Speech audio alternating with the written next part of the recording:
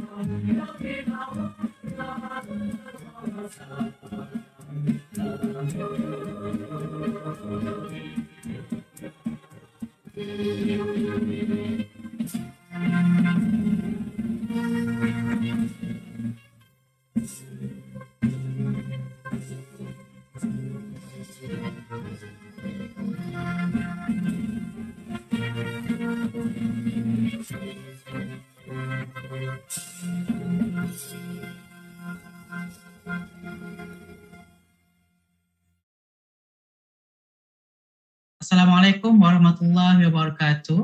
Salam sejahtera and good day everyone.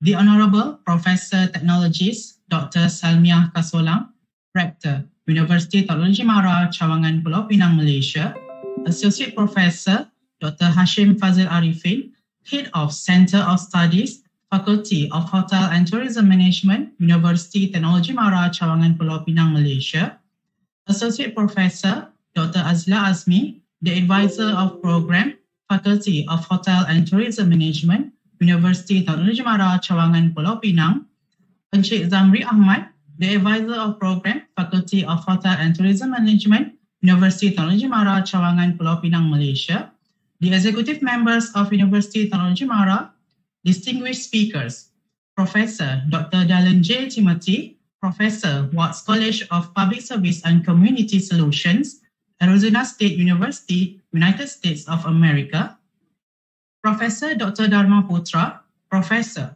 Faculty of Humanities, Udayana University, Bali, Indonesia, and Honorary Professor, School of Languages and Culture, University of Queensland, Australia, Dr. Daisy Fan, Senior Lecturer, Department of Hospitality and Tourism, Bournemouth University, United Kingdom, Mr. Muhammad Daud Muhammad Arif, Chief Executive Officer, Malaysia Healthcare Travel Council, Malaysia, Mr. James Bivens, General Manager, Marriott International Kuala Lumpur, Malaysia, and Associate Professor Dr. Johanuddin Wahab, the moderator from Faculty of Hotel and Tourism Management, UITM, Cawangan Pulau Pinang.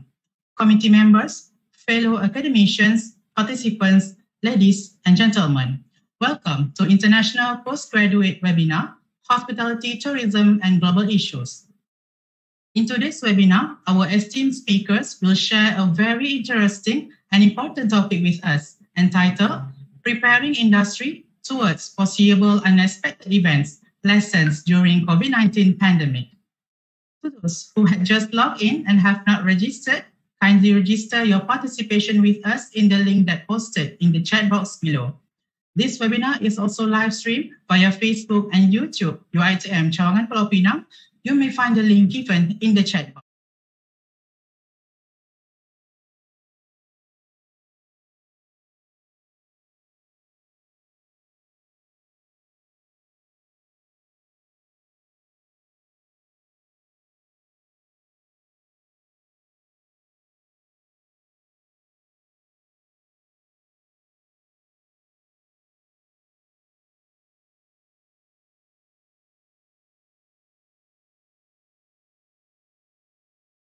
Participants are highly encouraged to utilize the chat box for any comments or questions made during presentation in order not to disrupt presentation. Out of respect to the speakers, we request all participants to kindly switch on your cameras. Next, all participants are highly encouraged to use virtual backgrounds that have been shared to your email. My name is Muhammad Najmi, and I am your Master of Ceremony for this webinar today. Before we proceed, we would like to call upon Head of Center of Studies, Faculty of Hotel and Tourism Management, University Technology Mara, Cawangan Pulau Pinang, Associate Professor Dr. Hashim Fazal Arifin to deliver his welcoming speech.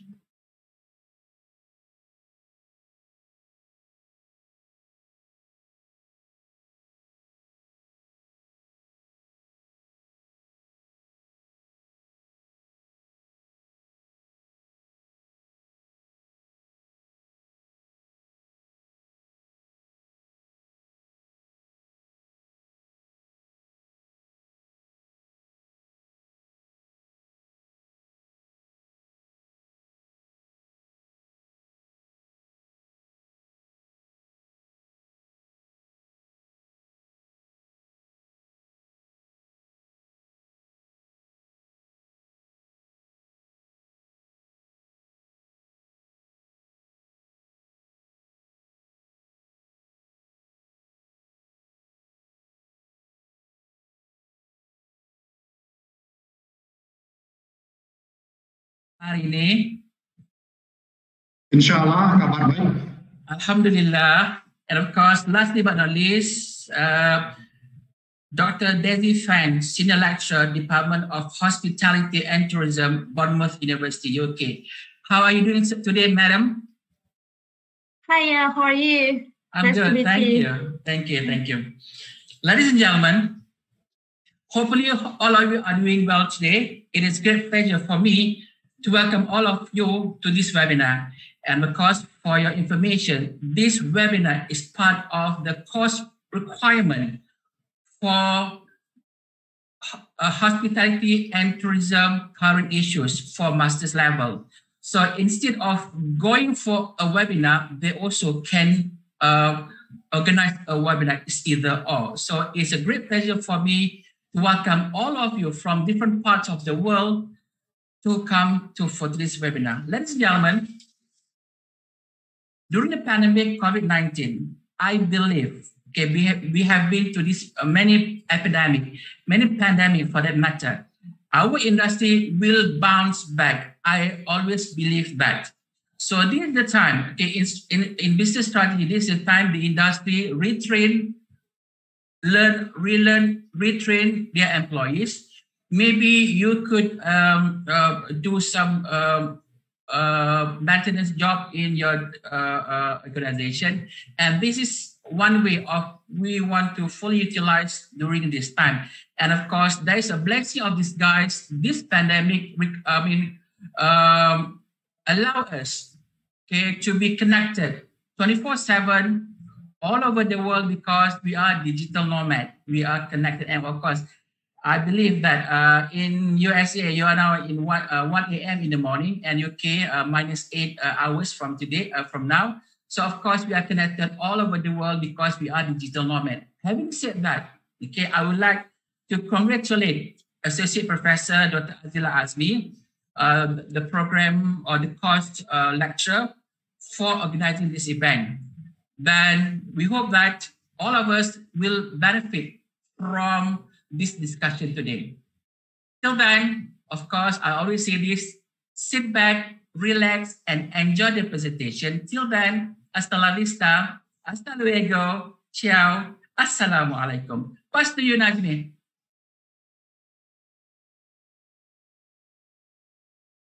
Thank you, Associate Professor Dr. Hashim Fazil Arifin, for the welcoming speech. Now, we would like to call upon Professor Technologist Dr. Salmiah Kasolang, Rector, University Technology Mara, Cawangan Pulau Pinang, to deliver an opening remarks. Thank you so much, uh, Mr. Najmi, as the MC for today. Bismillahirrahmanirrahim. Alhamdulillahi Rabbil Alameen.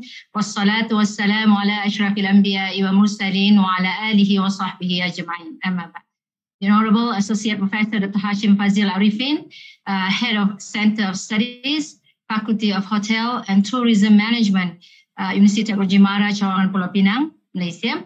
Associate Professor Dr. Azila Azmi, the advisor of program, Faculty of Hotel and Tourism Management, University Technology Mara, Cawangan Pulau Pinang.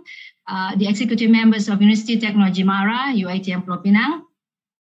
Our distinguished esteemed speakers, um, Professor Dr. Dallen J. Timothy, Professor, Watts College of Public Service and Community Solutions, uh, Arizona State University, United States of America, Professor Dr. Darma Putra, Professor, Faculty of Humanities, Udayana University, Bali, Indonesia, and Honorary Professor, School of Languages and Culture, University of Queensland, Australia.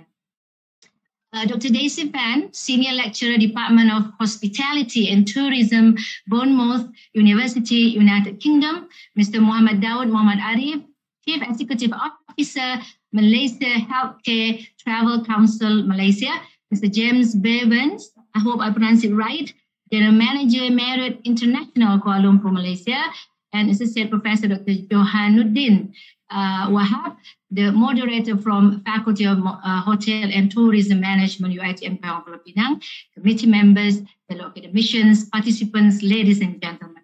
Again, Assalamu alaikum warahmatullahi wabarakatuh and uh, good afternoon. Alhamdulillah, let's extend our sincere gratitude to Allah subhanahu wa ta'ala for giving us this opportunity to be here today. It is a, a great pleasure and honor to welcome you to today's International Postgraduate Webinar Hospitality and Tourism Global Issues that is preparing industry towards uh, foreseeable uh, unexpected events, lessons during COVID-19 pandemic uh, which is hosted by postgraduate students of hospitality management, faculty of hotel and tourism management, University Technology Mara, Cawangan, Pulau Pinang, and Puncak Alam. First and foremost, I would like to take this opportunity to welcome all the eminent uh, speakers. Professor Dr. Dallen J. Timothy, Professor Dr. Darma Putra, Dr. Desi Pen, uh, Mr. Muhammad Daud, Muhammad Arif, and Mr. James Bivens. Uh, indeed, a meeting of this nature is not only timely, but much needed in the present landscape of issues and challenges facing this pandemic era. Thank you so much for accepting the invitation and willingness to share your knowledge and expertise in this webinar. Not forgotten, uh, I would like to express my gratitude to the Faculty of Hotel and Tourism Management, uh, UITM Pulau Pinang, the webinars team for all their hard work in making this uh, international postgraduates webinar a success. Congratulations, I'm truly happy uh, everyone um, uh, is giving their utmost commitment to realize all the efforts and programs planned. Uh, this active synergy is crucial for UITM to move forward and uh, go internationally in line with the mission as, and aspiration of UITM. UITM is built up upon a um, foundation of three values, uh, which are uh, excellence, uh, synergy, and integrity. So synergy is one of the uh, things I think uh, being uh, uh, being promoted today or being realized. Ladies and gentlemen, allow me to share about University Technology Mara. UITM is the largest university in Malaysia. It was established in 1956.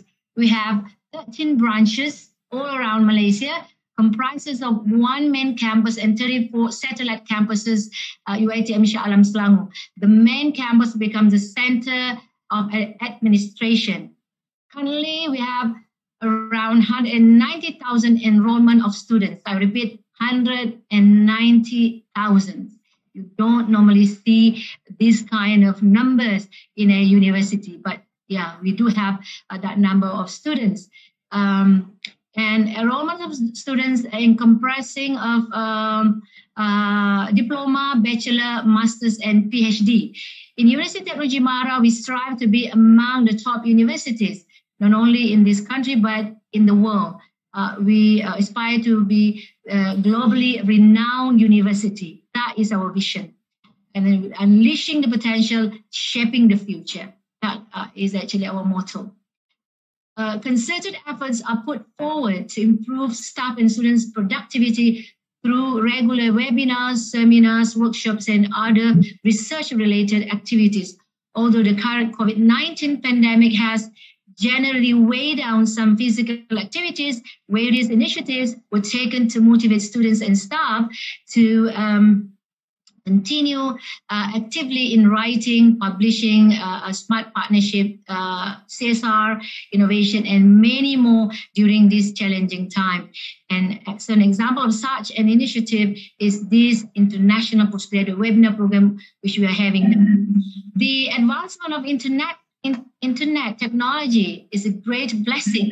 It allows us to gather safely on this virtual platform. We're very grateful to have all the speakers with various academic backgrounds, plus with a splendid experience that will benefit educationally, culturally, and practically through invaluable knowledge and insights. Ladies and gentlemen, there is no doubt that the fear and uncertainty that have emerged from unforeseen event of COVID-19 have uh, psychologically, uh, physiologically, and emotionally uh, have changed the global landscape. Tourism is one of the sectors most affected by the COVID-19 pandemic, impacting economies, livelihood, public services, and opportunities on all continents all parts of its value uh, chain have been affected.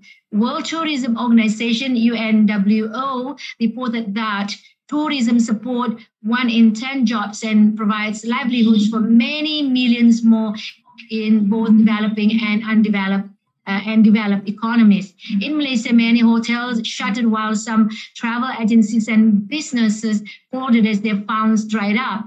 Uh, sorry, as their funds, yeah, dried up. Uh, for this reason, UITM, as one of the human capital providers, we provide about 40% of the need of the country. Um, uh, we'll continue uh, to contribute and support for any recovery and strategic plan to rescue the economy and for the survival of, of mankind as a whole. Before I end my speech, once again, I would like to extend a warm welcome to all the speakers and participants. I sincerely hope you will find this webinar rewarding. Stay safe and may you have a fruitful webinar. That, I announced the opening of International Postgraduate Webinar, Hospitality and Tourism Issues, Preparing Industry Towards Foreseeable Unexpected Events, Lessons from COVID-19 Pandemic. Thank you very much. Over to you, uh, Mr. MC. Thank you very much, Professor Technologist Dr. Sal Salmiah for the wonderful opening remarks. Members of the webinar, before we begin with the main highlights for today, allow me to share a brief introduction about the moderator, Associate Professor Dr. Joharuddin Wahab. Associate Professor Dr. Joharuddin is an Associate Professor of Service Management and Hospitality Management within the Faculty of Hotel and Tourism Management University Technology Mara, Cawangan, Pulau Pinang.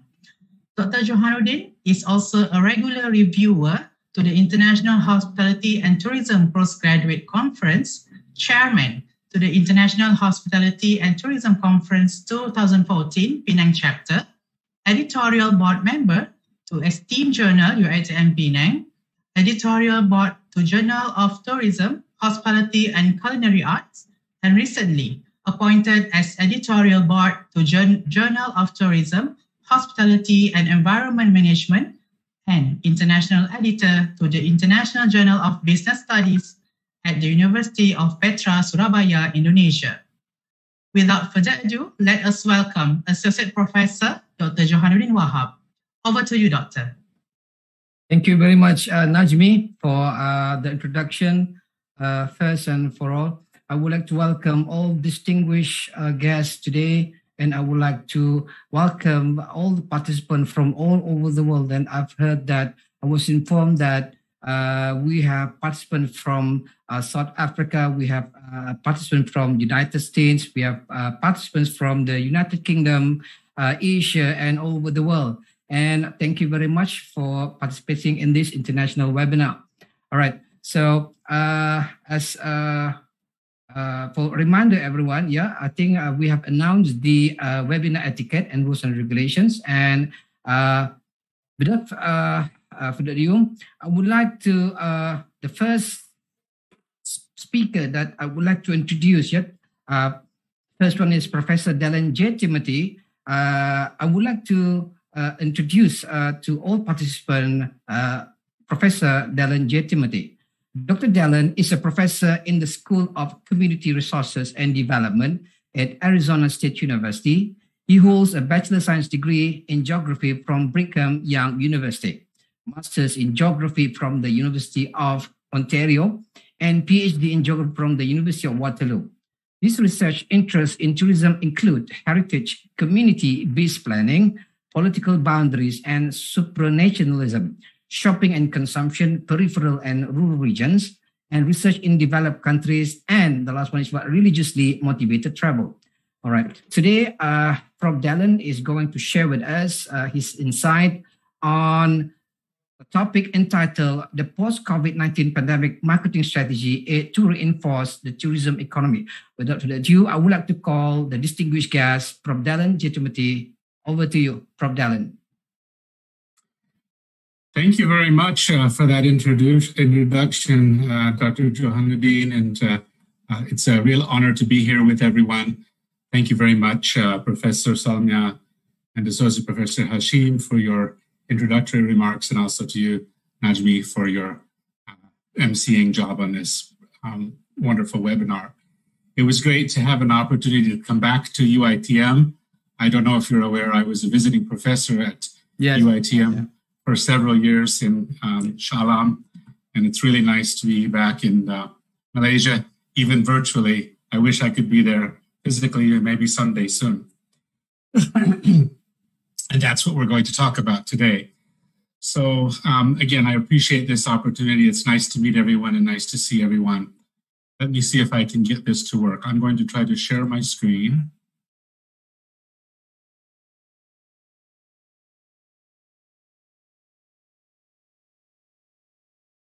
Can you see that?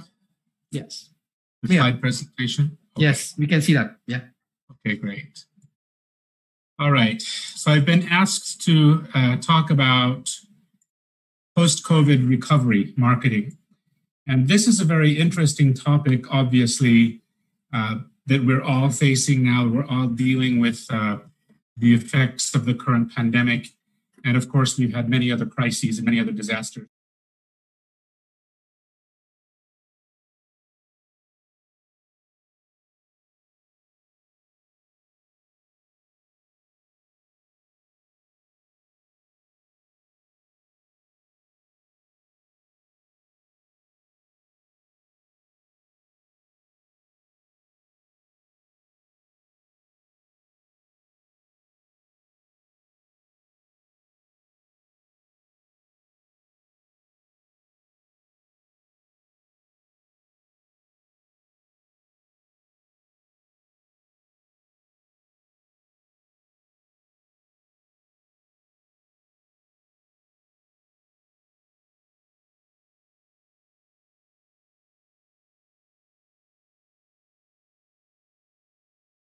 Billions of dollars in revenue. Millions of employees have been laid off from their employment.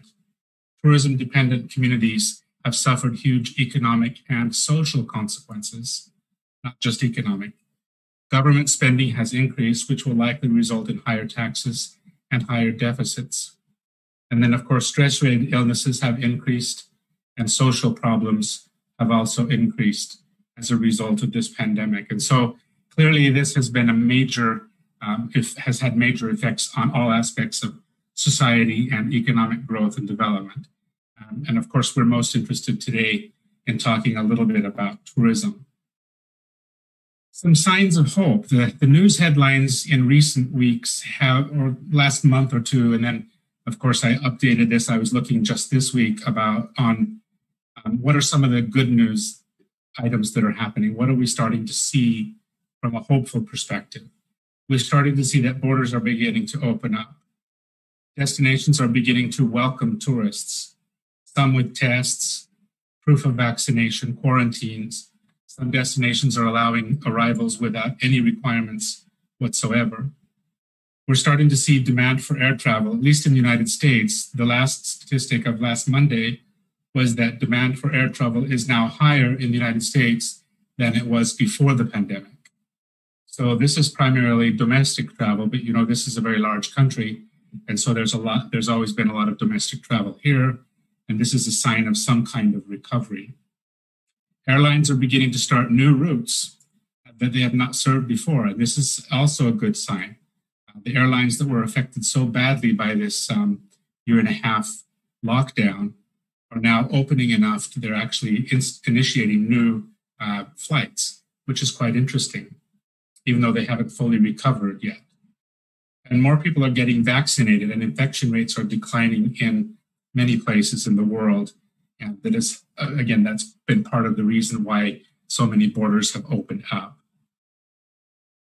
There are some very encouraging headlines that I was able to find.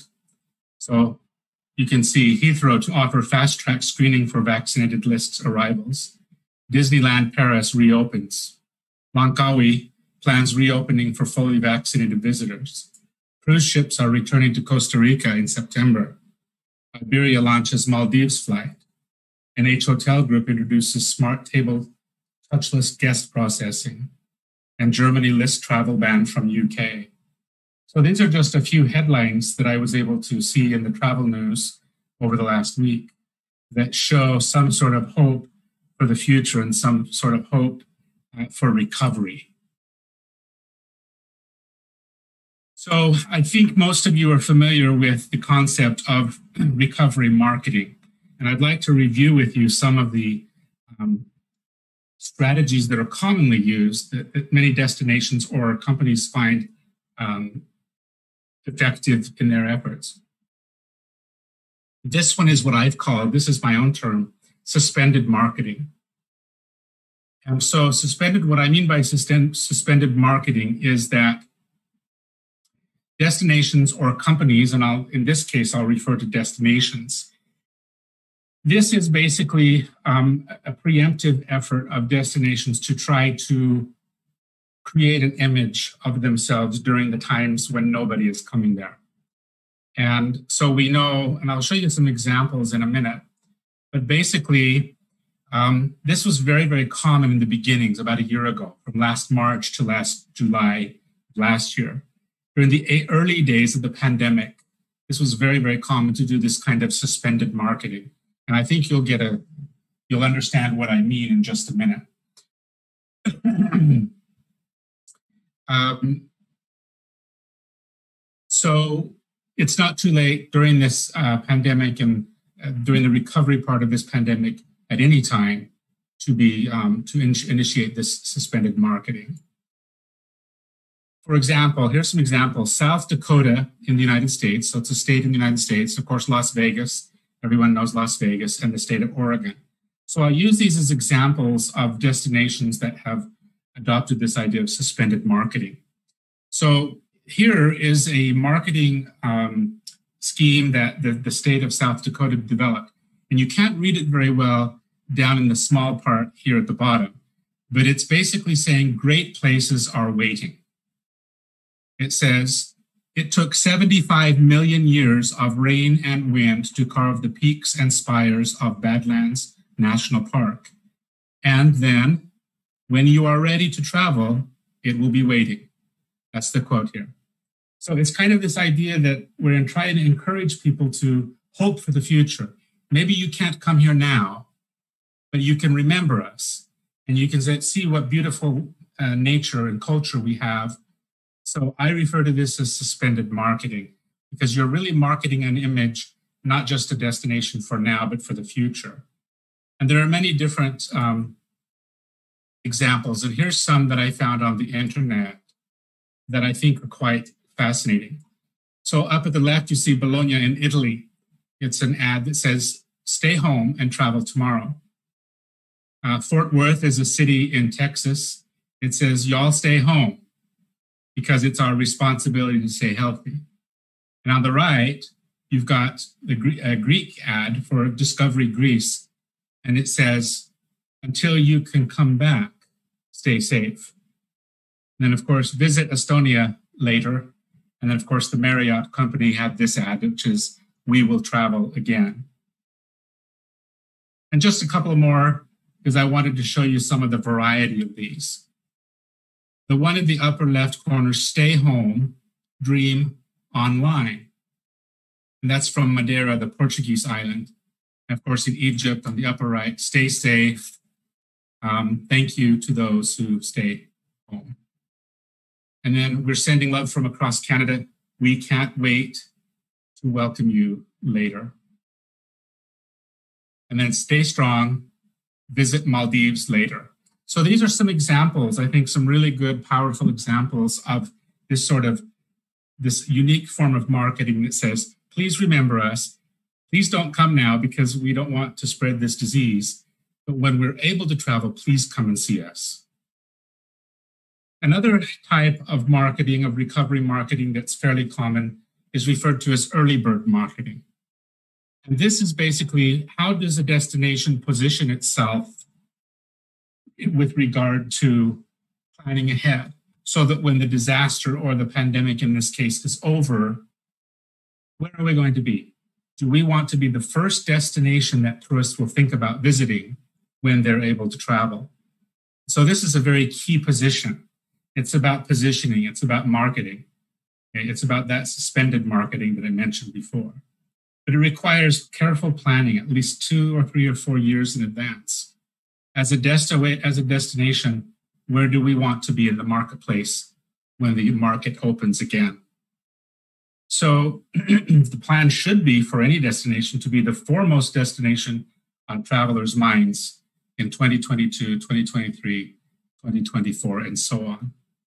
And so this does take a lot of careful planning, and that idea of suspended um, marketing plays an, an important part in this.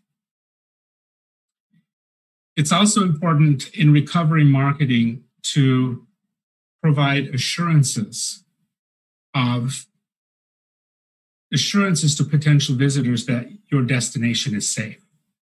So it's very important in planning for um, the future to do everything in the destination's power to ensure that guests have a safe and pleasant experience. To ensure that all health requirements and healthy practices, such as sterilization, masks, touchless processing, for example, are implemented and ensured to make guests feel safe, obviously, and visitors. And then something that we're starting to see more now is to digitize as much as possible, more contactless um, interaction with people will help provide these assurances that we are a healthy destination, we're ready to receive you, etc. Another perspective on recovery marketing is what we refer to as, obviously, you've all heard the term, rebranding. And clearly, we have the issue of branding. But rebranding is necessary when we have uh, breaks or we have interruptions in tourism. And so, in this case, obviously, we're talking about a really big disruption. So, rebranding is a very careful um, effort, a multi sectoral effort to try to create, again, as I mentioned in the previous slide, a healthy destination, the image of a healthy destination the pandemic might provide opportunities to rethink our destination or organizational goals and branding efforts. So, not everything about the pandemic is terrible. Most everything is. But it can give us an opportunity as a destination or a service provider, a company, to take the opportunity to rethink what we're offering and how we are marketing and how we are providing services. We also have to consider reorienting the product. This is something that I found to be very, very interesting as I've studied the effects of, of the COVID 19 pandemic over the past year. Museums are very good examples. And I've seen this adapted in many different museums, such as the National Museum of Singapore, the Vienna Museum, and various others. Some museums are now opening COVID 19 exhibits or displays. They're integrating the pandemic into their collections and narratives. So the pandemic itself is now becoming part of the heritage of destinations and part of the world's heritage in terms of um, the way that museums are sort of heritagizing it a little bit. So that's quite interesting, that too, something I've read about recently. Another tactic that it's often used is reorienting the market. And identifying new niches, this is key in, in refreshing the, the brand, refreshing our, our uh, product anyway. But during the pandemic and after the pandemic, I think it's important that destinations and service providers, um, hospitality providers, identify new niches. A lot of places have begun to focus on domestic tourism whenever possible. Because typically, in most places, domestic travelers have, travel has been allowed, whereas international travel hasn't. Encouraging citizens to explore their home countries something that a lot of people haven't really considered in the past as a lucrative market, although it is. This can be done, obviously, encouraged by special rates and packages and promoting day trips and special events, such as art shows, film, uh, film shows, and things like that. On the right, you'll see this Arizona, where I live. Um, it's a it's a marketing campaign called Rediscover Arizona, something that the state has done to try to encourage Arizonans to stay within Arizona and explore their own state. Um, another two, I'm sorry, we're having a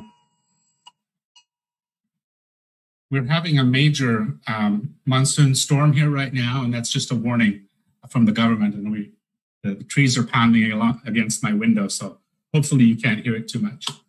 Um, so promote activities in places that allow visitors to, to distance physically such as remote areas, a lot of outdoor activities, virtual tours. A lot of places are offering virtual tours, and that becomes a conversion tool.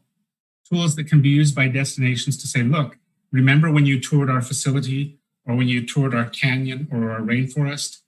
When we're able to travel, come back now and experience those things in person.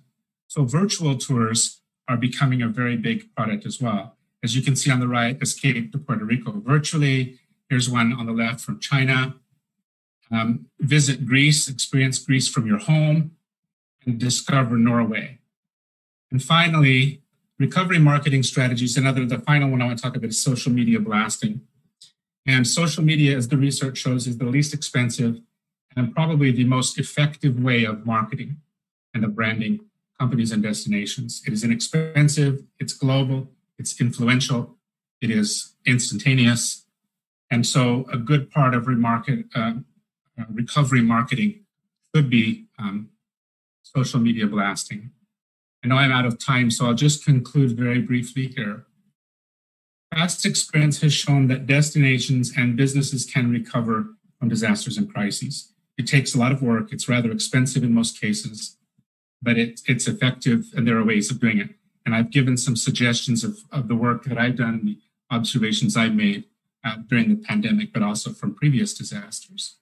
Although crises create many problems, they can also provide opportunities to rethink our product, to rethink our services, and maybe to reorient or rebrand or identify new niches. However, recovery marketing isn't easy. It requires a lot of collaboration, coordination, and diligent planning. It requires rethinking how tourism was before and what will it look like after. It requires being adaptable and being willing to reorient our service provision what it, what it is we have to offer. It also requires a certain level of risk. It provides an opportunity to rebrand and reconsider the marketplace, maybe tapping into markets that we hadn't thought of before as being very lucrative.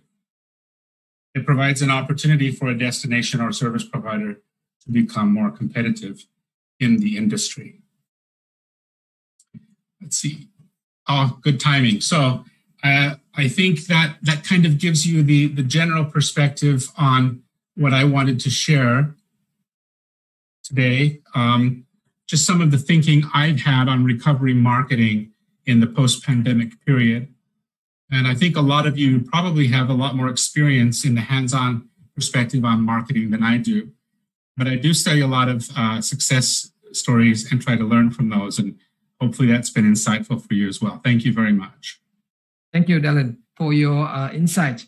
Uh, I just would like to uh, I would like to read the. Uh, I have a question for you. I have two, uh, three questions for you. As I read uh, in front of me, I'm looking at the statistics of the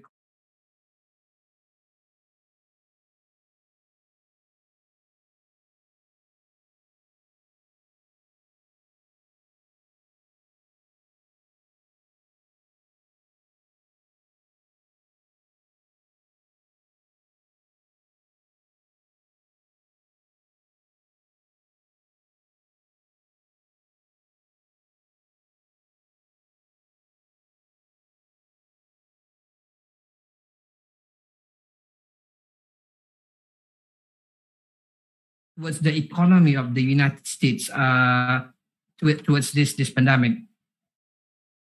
Yeah, that's a very good question. Thank you. Obviously, it's been devastating, and uh, the United States is a large country, and there's parts of the United States that are more dependent on tourism than other places, and they have been completely devastated. Places such as um, Las Vegas, Florida, California, um, a lot of the major destination regions in the United States have been devastated and a lot of small businesses have gone bankrupt and a lot of there's been a lot of problems and a lot of um, particularly small and medium enterprises really have been hit the hardest. And so uh, fortunately now things are on the recovery side and now most many countries are opening to americans because from the outbound perspective a lot of countries are now open to, opening to americans because the us now has one of the lowest infection rates which is good news. Um, but there's still a lot of about you know only half the population of the united states has been vaccinated. It should be much much higher than that but there's a lot of stubborn people and it's very frustrating. Yeah. um, so from an outbound perspective i think a lot more places in fact this morning i was looking at the list of countries that are um, welcoming american tourists and it's growing every day. There's uh, more countries involved and like i mentioned in the first slide some countries are requiring covid tests or vaccinations or quarantines. Others are not. Some of them just are welcoming welcoming Americans with no um, uh, what am I saying with no restrictions. Uh, but in terms of arrivals, it has been very very devastating. But not just international tourism arrivals, but even during the periods when we weren't allowed to eat in restaurants or when we weren't allowed to go to the parks and things like that. It's been very very hard, and um, it really has hit unfortunately, the poorer people tend to be the ones who get even poorer in this sort of situation. And so it's disproportionately affecting small businesses and family run businesses and here, and I think everywhere, not, yeah. not just here. how about the econo- economic stimulus package that is provided by the United States government towards this SME and all this? I think that it's overall it's been quite helpful. It's allowed some of the SMEs to stay alive. Um, I think it's been abused a lot by um, by some of the larger corporations who didn't need the money as much as the smaller companies, and so uh, the system may be good. It's caused a lot of debt, more debt for the country and deficit. Yeah, but it has helped a lot of small companies keep their employees, for example, keep their lights on, keep their doors open. Um, there has been a bit of abuse and misuse of that money, as I said, by certain larger companies that didn't need it but they received it anyway. So I do believe it's been a, a very good uh, blessing for the small um, small entrepreneurs for sure. All right, thank you, Dallen, for for your uh, last questions for this uh, uh for you. Uh, I have this from the participants. Yeah. Um, all right. So the next question is. Uh, what are the best way to market a destination after pandemic period and the simple action that to be done by the government? Well, that's what my whole presentation was about. so I think um, maybe the person asked the question before the presentation was really finished. right. Yes. Um, but I think uh, basically it's all about being adaptable, being willing to look at different market segments. Um, it's being willing to, uh, for the government to support, as you mentioned, uh, Jonah Nudin, it's, it's important for the government to, Yeah. To support where possible, if possible, and to also give good benefits, like maybe tax breaks to, to companies to thrive things like that. So the role of government is key. Something that's different from, say, Malaysia and the United States is the tourism industry in the United States is completely free of government. Um, the government has really very little role to play in tourism. It's a complete free market, uh, business-oriented model. Whereas in most com- countries, there are government departments or government ministries over tourism, and that is not the case in the United States. And so uh, it's a slightly different model. It's more of a free market driven uh, economic sector. There are policies, obviously, that affect tourism, but uh, not so much in the United States as in most other countries. But I think that the common marketing strategies, like I said, if you go back and review the slide presentation, are you know adaptability, uh, preemptive marketing, Yeah. those sorts of things, and um, One last question, uh, Darren. Uh, this is from uh, Sidi Tuka from Undira, Bali. The question is, uh, how do you think about new model guest satisfaction standard based on your new model recovery marketing strategy during or after pandemic? Is in, is there any different strategy between foreign and national guests, tourists? You know, I'm not sure if there is a different strategy. Um, I know that a lot of places are becoming more aware of their specific markets, which is good. And I think that this could go one of two ways. Uh, Post pandemic, I think that people really feel this, what we call island fever. Everybody feels locked in. Everybody feels like we need to be free to travel again. And I think that Yes. there's going to be a lot of demand for international travel. And so we might see a pretty large jump in international travel once the world opens up again more. But I still think, and, and so there may be higher levels of satisfaction. There may be um, lower levels of satisfaction because places are going to be overcrowded once again. I'm not sure about that. But also, um, I do think that part of the recovery strategy for, with regard to domestic or national tourists versus international tourists is that there are cultural differences between tourism markets. And there's a lot of work, for example, on Chinese tourists around the world and what are the expectations and the desires of Chinese tourists compared to, say, other Asian tourists or European tourists. And so I think it's very incumbent upon the destinations and the service providers to know their markets, know what their preferences are.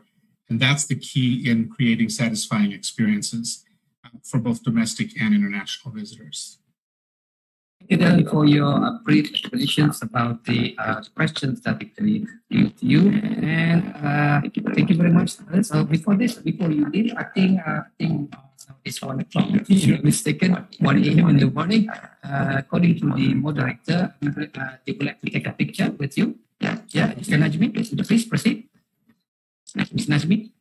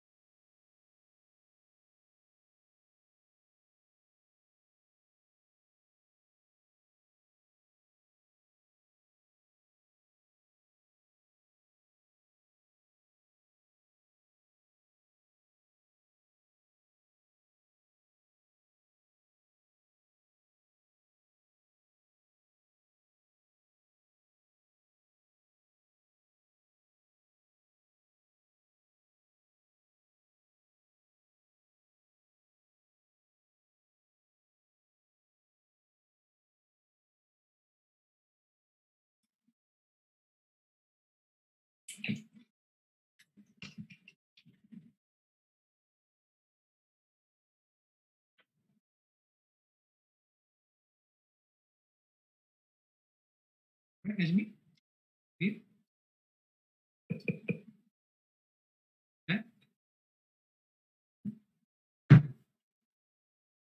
Catch me? Have you taken the picture?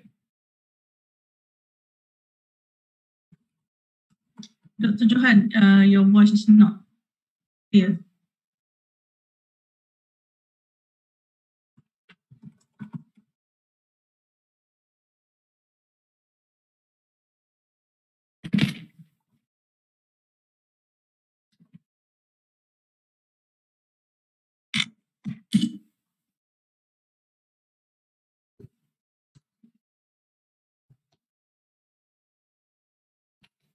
Testing. Yes. Okay, ready? All right. Already. One, two, three. One, two, three. Okay, we go to the next page. One, two, three. Okay, the last page. One, two, three. All right, thank you. Thank you, Najmi, for Over to you again, Dr. Johan. thank you. Thank you, Thank you, everyone. Najmi. Thank you, uh, Professor Dallen. All right. So uh, next, we would like to move to our second presenter for today. Uh, before that, I would like to read uh, uh, the uh, background of our presenter. Next presenter is Mr. Muhammad Daud Muhammad Arif. He is the Chief Executive Officer to the Malaysian Healthcare Healthcare Travel Council. Mr. Muhammad Daud Muhammad Arif is the Chief Executive Officer of Malaysia Healthcare Travel Councils. Previously, he served as the Senior Director of Tourism Policy and International Affairs Division at the Ministry of Tourism, Arts and Culture Malaysia and lead shepherd of the APEC Tourism Working Group. With 20 years of leadership, Mr. Muhammad Daud brings a fresh perspective to Malaysia healthcare growth, furthering the country vision to be the leading global healthcare destinations. All right. Uh, I believe uh, Mr. Daud is uh, among the key person right at the moment uh, during the pandemic in Malaysia. And I have uh, actually many questions prepared to uh, Mr. Muhammad Daud regarding what is actually going on in Malaysia right now. As we see yesterday, the numbers of uh, COVID-19 cases like surge going like over 9,000 cases. And I, I, I'm sure Mr. Daud is going to say something about that. And uh, his uh, presentation will be uh, covering the topic of uh, developing confidence and assurance for Malaysia as a trusted healthcare destination before and after co- uh, pandemic. So over to you, uh, Mr. Daud. Thank you. Uh, Assalamualaikum. Bismillahirrahmanirrahim. Very good afternoon, morning. I believe some of some of the places also good night. Uh, thank you, Dr. Johan. Uh, first and foremost, I would like to thank you, ITM, uh, to uh, invite me. I think the organization of this webinar is very, very uh, done very well. Alhamdulillah. And uh, again, again, thank you so much. And as you rightfully said, I'm a little bit more focused on one particular niche of tourism uh, promotion or offerings. Uh, the one that uh, Professor Timothy was uh, explaining was uh, leisure travel, but going into medical travel it will be more different in terms of the nature of the travel. Uh, and I will take the audience through my presentation with first to highlight some of the landscape of the Malaysia healthcare services. And secondly, we will go, uh, we'll dive in into the performance of Malaysia healthcare services uh, comparative to our neighboring countries. And then uh, I will also take you through how we manage uh, the COVID-19 pandemic vis-a-vis the services of healthcare that we provide. And finally, how do we plan uh, to move out or to rebound from the COVID-19 pandemic. So the next slide, if I, if I may, to start off is, okay, uh, first and foremost, the Malaysia healthcare is uh, established national agenda, and we are very lucky that our government uh, take this as one of the sector which can contribute to economic recovery. Previously, the government or Malaysia has always been focusing on manufacturing. Now we are moving into services as well to balance the economic development. And, and I'm very proud to see that healthcare services, especially for international uh, patients, has been put as a priority area for economic development of the country. And what MHTC is, is being established for is very crucial. Uh, not many country has an establishment like Malaysia Healthcare Travel Council. And we are a body where dedicatedly to promote Malaysia as a destination for healthcare services throughout the region and as well as for global market.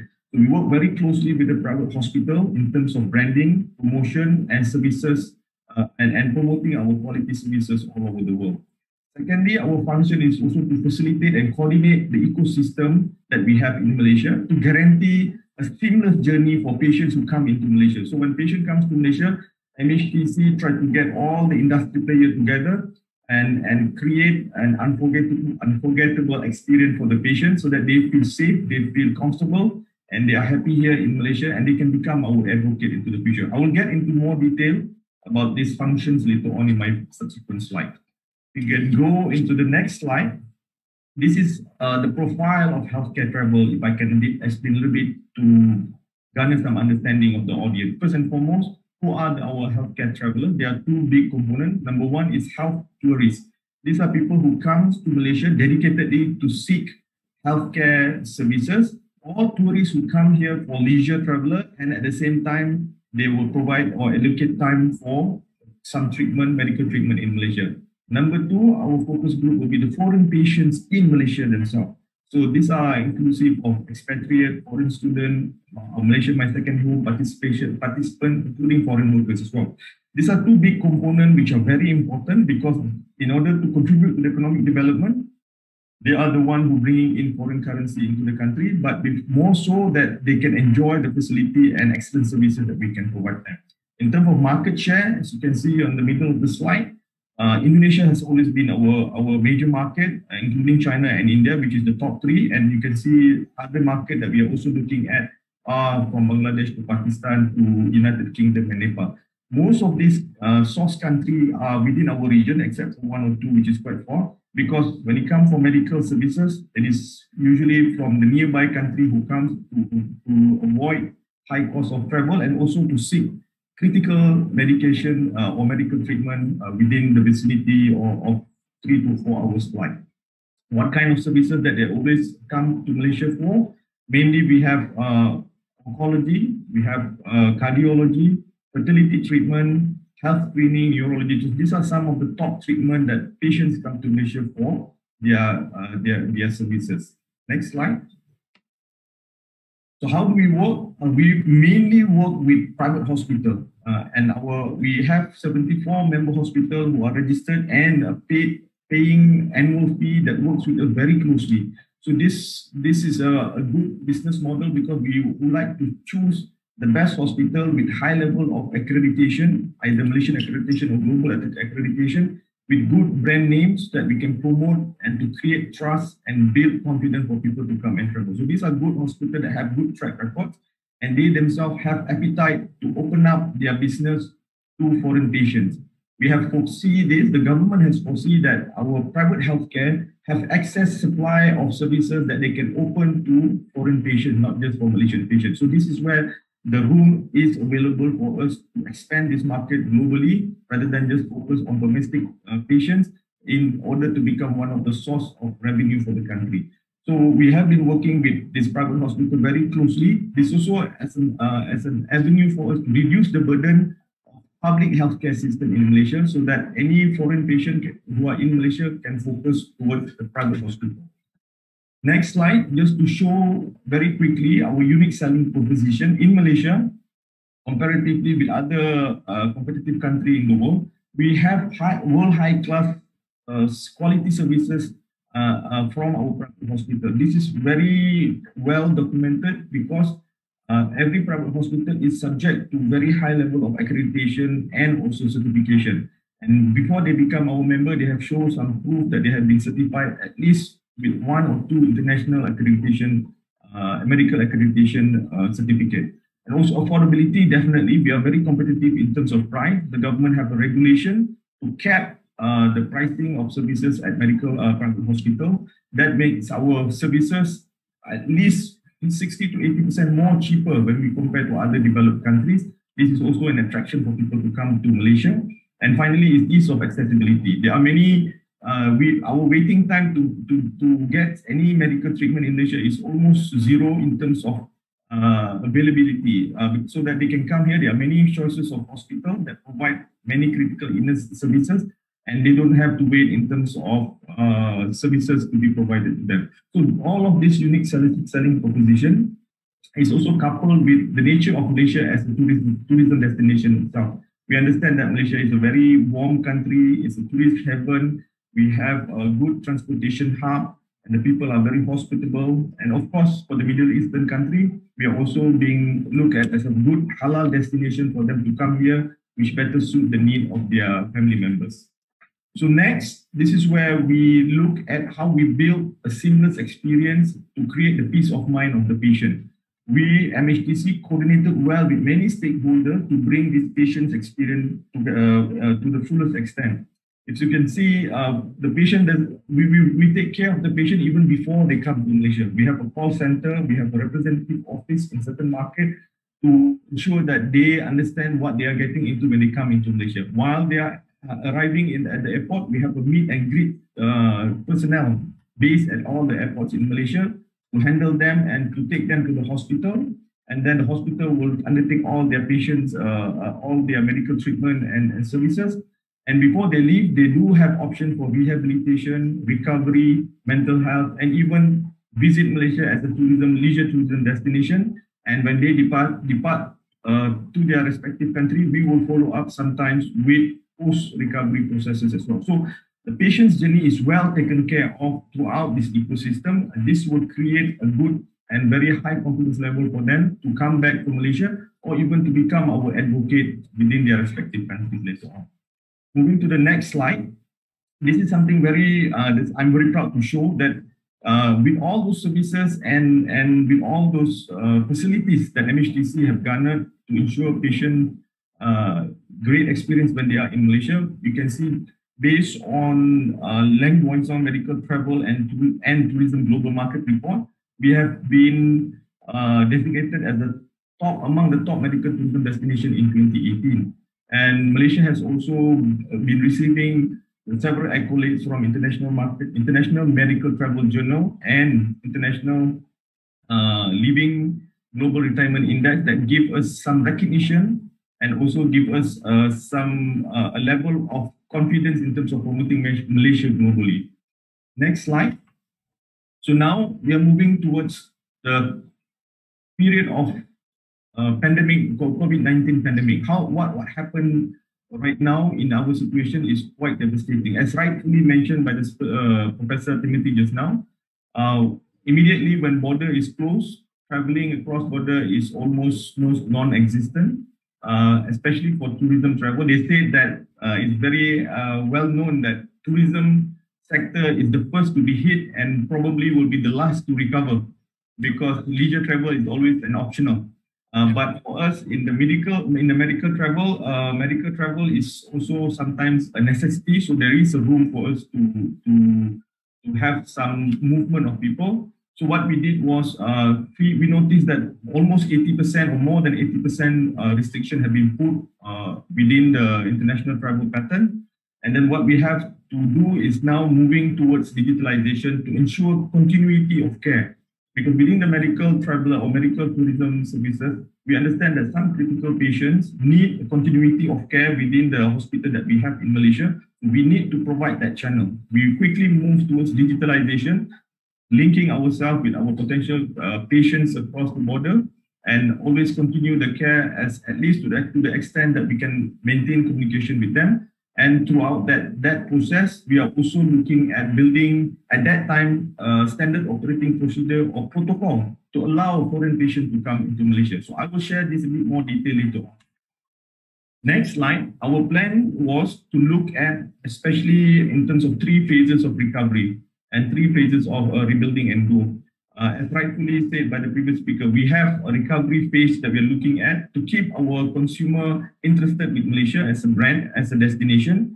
Uh, we take this time as well to consolidate our stakeholder to further tighten the ecosystem where the patient will travel in, within Malaysia so that they can have an unforgettable experience in Malaysia.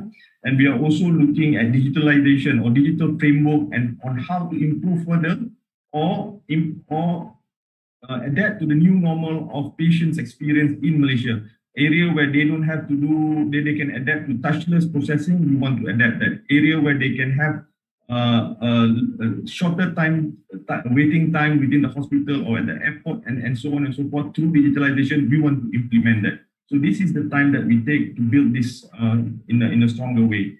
And then moving to rebuild phase, we are looking at how to build a safe and trusted destination. So this is now we are moving towards, as mentioned just now, recovery marketing. We want to push and we want to be ready for them to come in. And finally, the growth stage. The growth stage is that we want to look at new potential market. We want to have a new branding for Malaysia, uh, and we want to focus on specific treatment that is of strength to Malaysia. For example, cardiology, oncology, and fertility. So these are some of the plan that we have put in place in order to move forward uh, beyond COVID-19 pandemic. Next slide, just to give a taste to the audience, some of the suspended marketing as mentioned just now. We are doing right now, we are staying warm. We want to keep our brand uh, within the, the mind of all the potential global patients around the world. So we are having a branding campaign, which is Malaysia World Healthcare Marvel.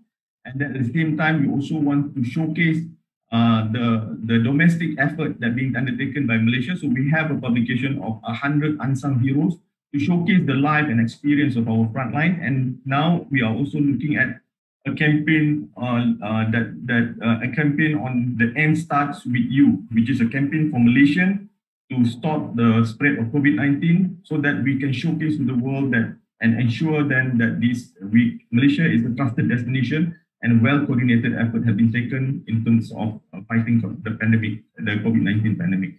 And of course, at the same time, we do our outreach through virtual media consultation health talk with various destinations or various markets uh, across the country just to keep our brand warm within their mind internationally.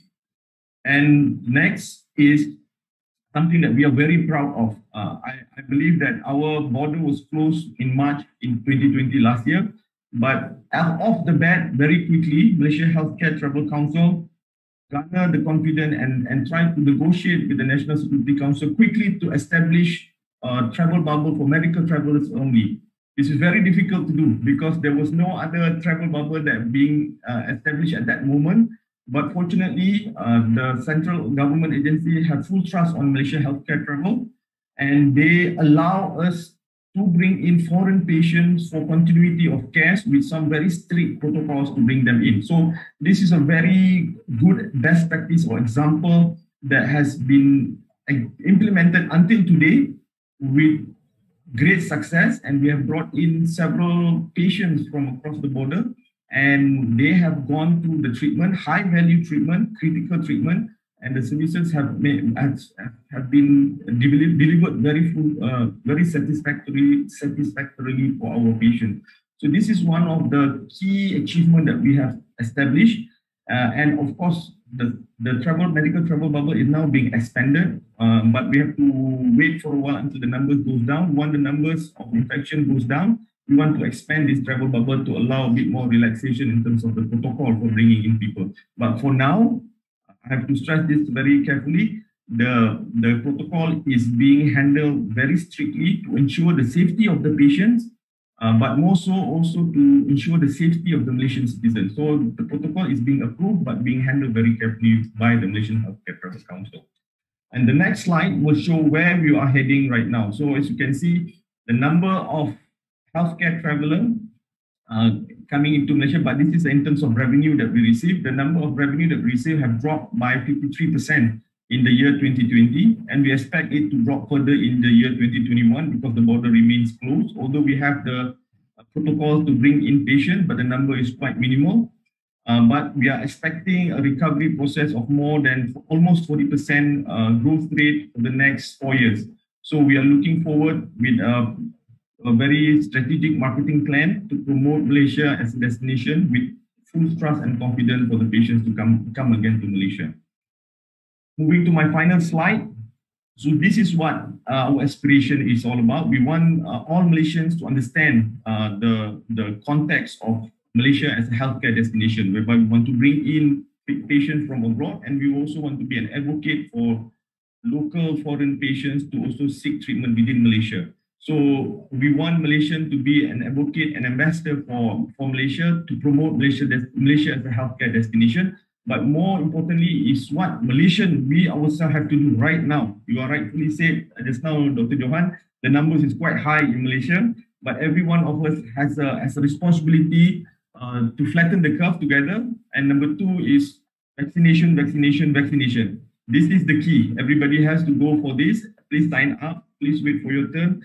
And once we have this reached that herd immunity, there's a lot more possibility that we can go through uh, and we can uh, it's open to us in terms of receiving patients abroad.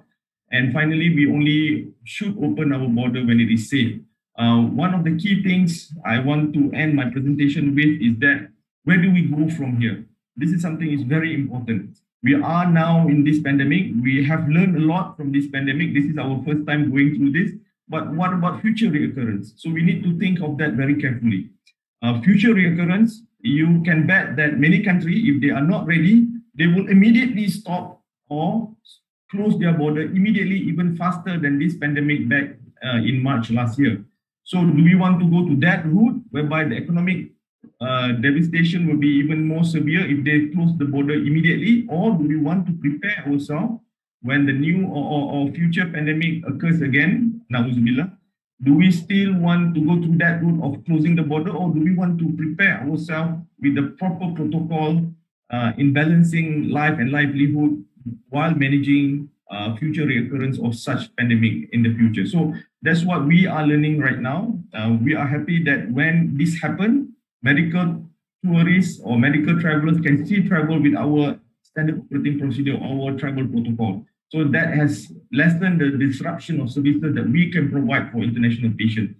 So we hope that this can be replicated in many other sectors, including business, including travel, leisure travel, and so on and so forth, so that we are ready for future, possible future recurrence of similar pandemic. With that, I, I end my presentation now. Uh, uh, I, I am very happy to be here and I'm, I'm ready to uh, entertain any question that you have. Inshallah. Thank you, Mr. Daud, uh, for your uh, very uh, what I call in-depth insights. Okay, uh, I have a question uh, to you, Mr. Daud. Uh, it's regarding the, as you uh, we see from every day from the news, from the statistics that we have looked into uh, every day since like yesterday is the highest numbers of the COVID-19 cases when there's numbers of what I call testing, swab testing all over Klang Valley. All right. So, what is the role? I think I, I believe you are you are I mean in the in the a group of people who basically will be able to answer this question. How about uh, what is your comment on the private uh, hospital involvement in tackling COVID cases in Malaysia? Thank you very much. Uh, Yeah. So, in terms of private hospital, we're working very closely with them. First and foremost, uh, they are very much willing to be an advocate in terms of establish, establish, establishing a vaccination center across the across Malaysia. So they are open for that, and they want to be among the center for vaccination, so that the rollout of the vaccination can be fast. Uh, and also, many of the hospital work with us in terms of campaign to uh, social distancing, wearing masks, and so on and so forth. Uh, and in terms of testing, of course, many of the private hospitals are covering for foreign patients here in Malaysia to ensure that they undertake their uh, COVID testing on a regular basis. So these are some of the things that the private hospital is doing with us. But more importantly, right now is that they are ready to be a center of vaccination, and they are also ready to be a center of vaccination for those who are willing to buy and pay for vaccination in the future. But of course, right now, the priority of for the general Malaysian who really wants to go for vaccination, we want that to move forward first, and private hospital are within this process. But later on, when we have reached herd immunity, we can move towards opening it up to other patients who can afford to pay for this vaccination in the future. All right. Thank you, uh, Mr. Daud. So I have a question here uh, from Arslan, uh, Arslan Ali, uh, our participant today. How can healthcare providers seize opportunities in attracting foreign patients during the growing globalization of healthcare? What marketing strategies can health providers engage in to attract medical tourists? Okay, uh, it's a general question. It depends on which time period we are. So let me just give some some indication right now. So uh, first and foremost, right now during uh, I would say recovery and rebuild phase, uh, we are focusing on our major market right now. Uh, the major market which is Indonesia, India, and also China. So this major market, we are directly doing some promotional webinar and, and so on and so forth to receive patient in a very strict and very, I would say, controlled manner through our SOP. But beyond that, uh, as as mentioned just now, we need to keep our branding warm globally. So this is where we keep on saying that Malaysia is here. Malaysia is still uh, promoting uh, strict and and and very safe protocol within Malaysia. Although the numbers doesn't doesn't really help at the moment, but that's the, the message that we want to put out there. And then at the same time, we are also looking at new potential market that we want to expand beyond our traditional market right now. But the priority is now to rebound and bring back our traditional market patients into Malaysia once the border fully open. And then during this time, we have identified a few other new market, but we are not venturing or doing hard sell into the new market right now. I give you some potential new market, which is the Middle East. Uh, we are looking at Russia. We are also looking at uh, in the Northeast Asia market as well. But right now, we are not doing hard selling into the new market yet because we want to bring confidence back to the traditional market because some of the changing in behavior of the patient within those countries have changed. They might be more comfortable and willing to seek treatment within their own country during this uh, pandemic time, which will hinder them or demotivate them to travel to Malaysia in the future when the border opens. So immediately, the focus is to bring back traditional patient, traditional market back into Malaysia. But in the medium term, we are looking at new market that we want to establish. Thank you, Mr. Daud. I have uh, one last question for you, Mr. Daud. I believe from your experience uh, in this medical care, um, my question is just uh, maybe you would like to uh, explain a bit how are we going to tackle? I think uh, lots of people have these questions all over Malaysia, especially the Malaysian citizen, regarding the how are we going to reduce the number of COVID-19 uh, strategies that is one of the most important strategies that we need to do in order for us to reduce the number of cases that is actually now is coming like increasing every day. Yep. Right. Mr. Daud, please. Boleh. So, so okay. this, this is this is something that I've touched on my final slide just now. Uh, there's no no way no way around it. Uh, I believe what we have in Malaysia is a syndrome whereby uh, we are moving towards uh, we we have been too complacent with the current situation uh, whereby we we try to dilute our awareness or dilute our willingness to to do those specific things uh, such as wearing our mask double masking wash our hand use sanitizer social distancing uh, and people are still traveling, even though there is specific guideline that's trying to tell us to, to not do so. So as I mentioned, it's a, it's a collective responsibility of us to ensure this, number one. Number two, we cannot run away. We, it has to be a vaccination process. Vaccination process will allow us to treat this pandemic at the end of the day to become an endemic process, what as what Singapore is doing right yes, now. Yes, yeah, Singapore is doing right now. Toward yeah. that process. So uh, we are working towards achieving that herd immunity. Uh, these are the two things that I can see to be very effective right now. So we need to move towards this this this particular objective in very immediately. I would say. All right, thank you, Mr. Daud, for your uh, what I call I can say beautiful explanation about what is going on right now, and of course the uh, the um, uh, healthcare uh, in Malaysia. So thank you very much, Mr. Daud, for your uh, sessions, uh, for your presentations, and uh, we would like Najmi. Are we going to take a picture, or maybe this is later on? Najmi, this is later on, right? Take picture with Mr. Daud, or we move to another speaker.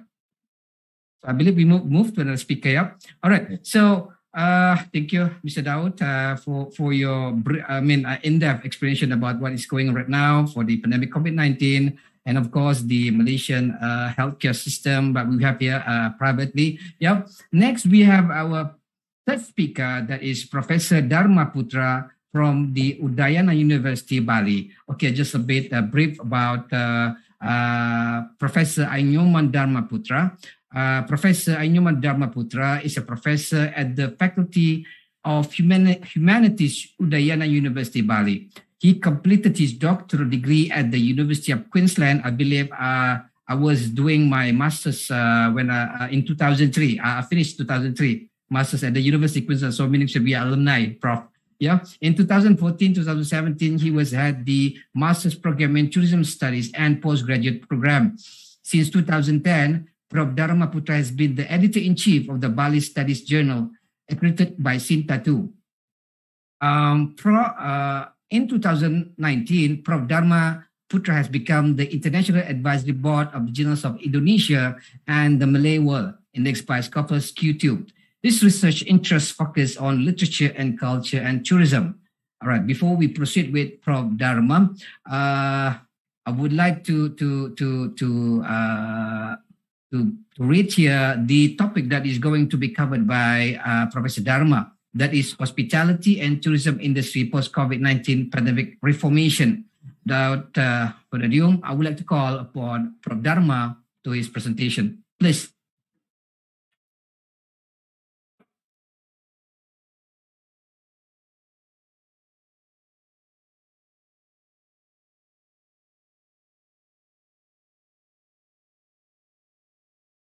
And thank you very much for Mr. Dr.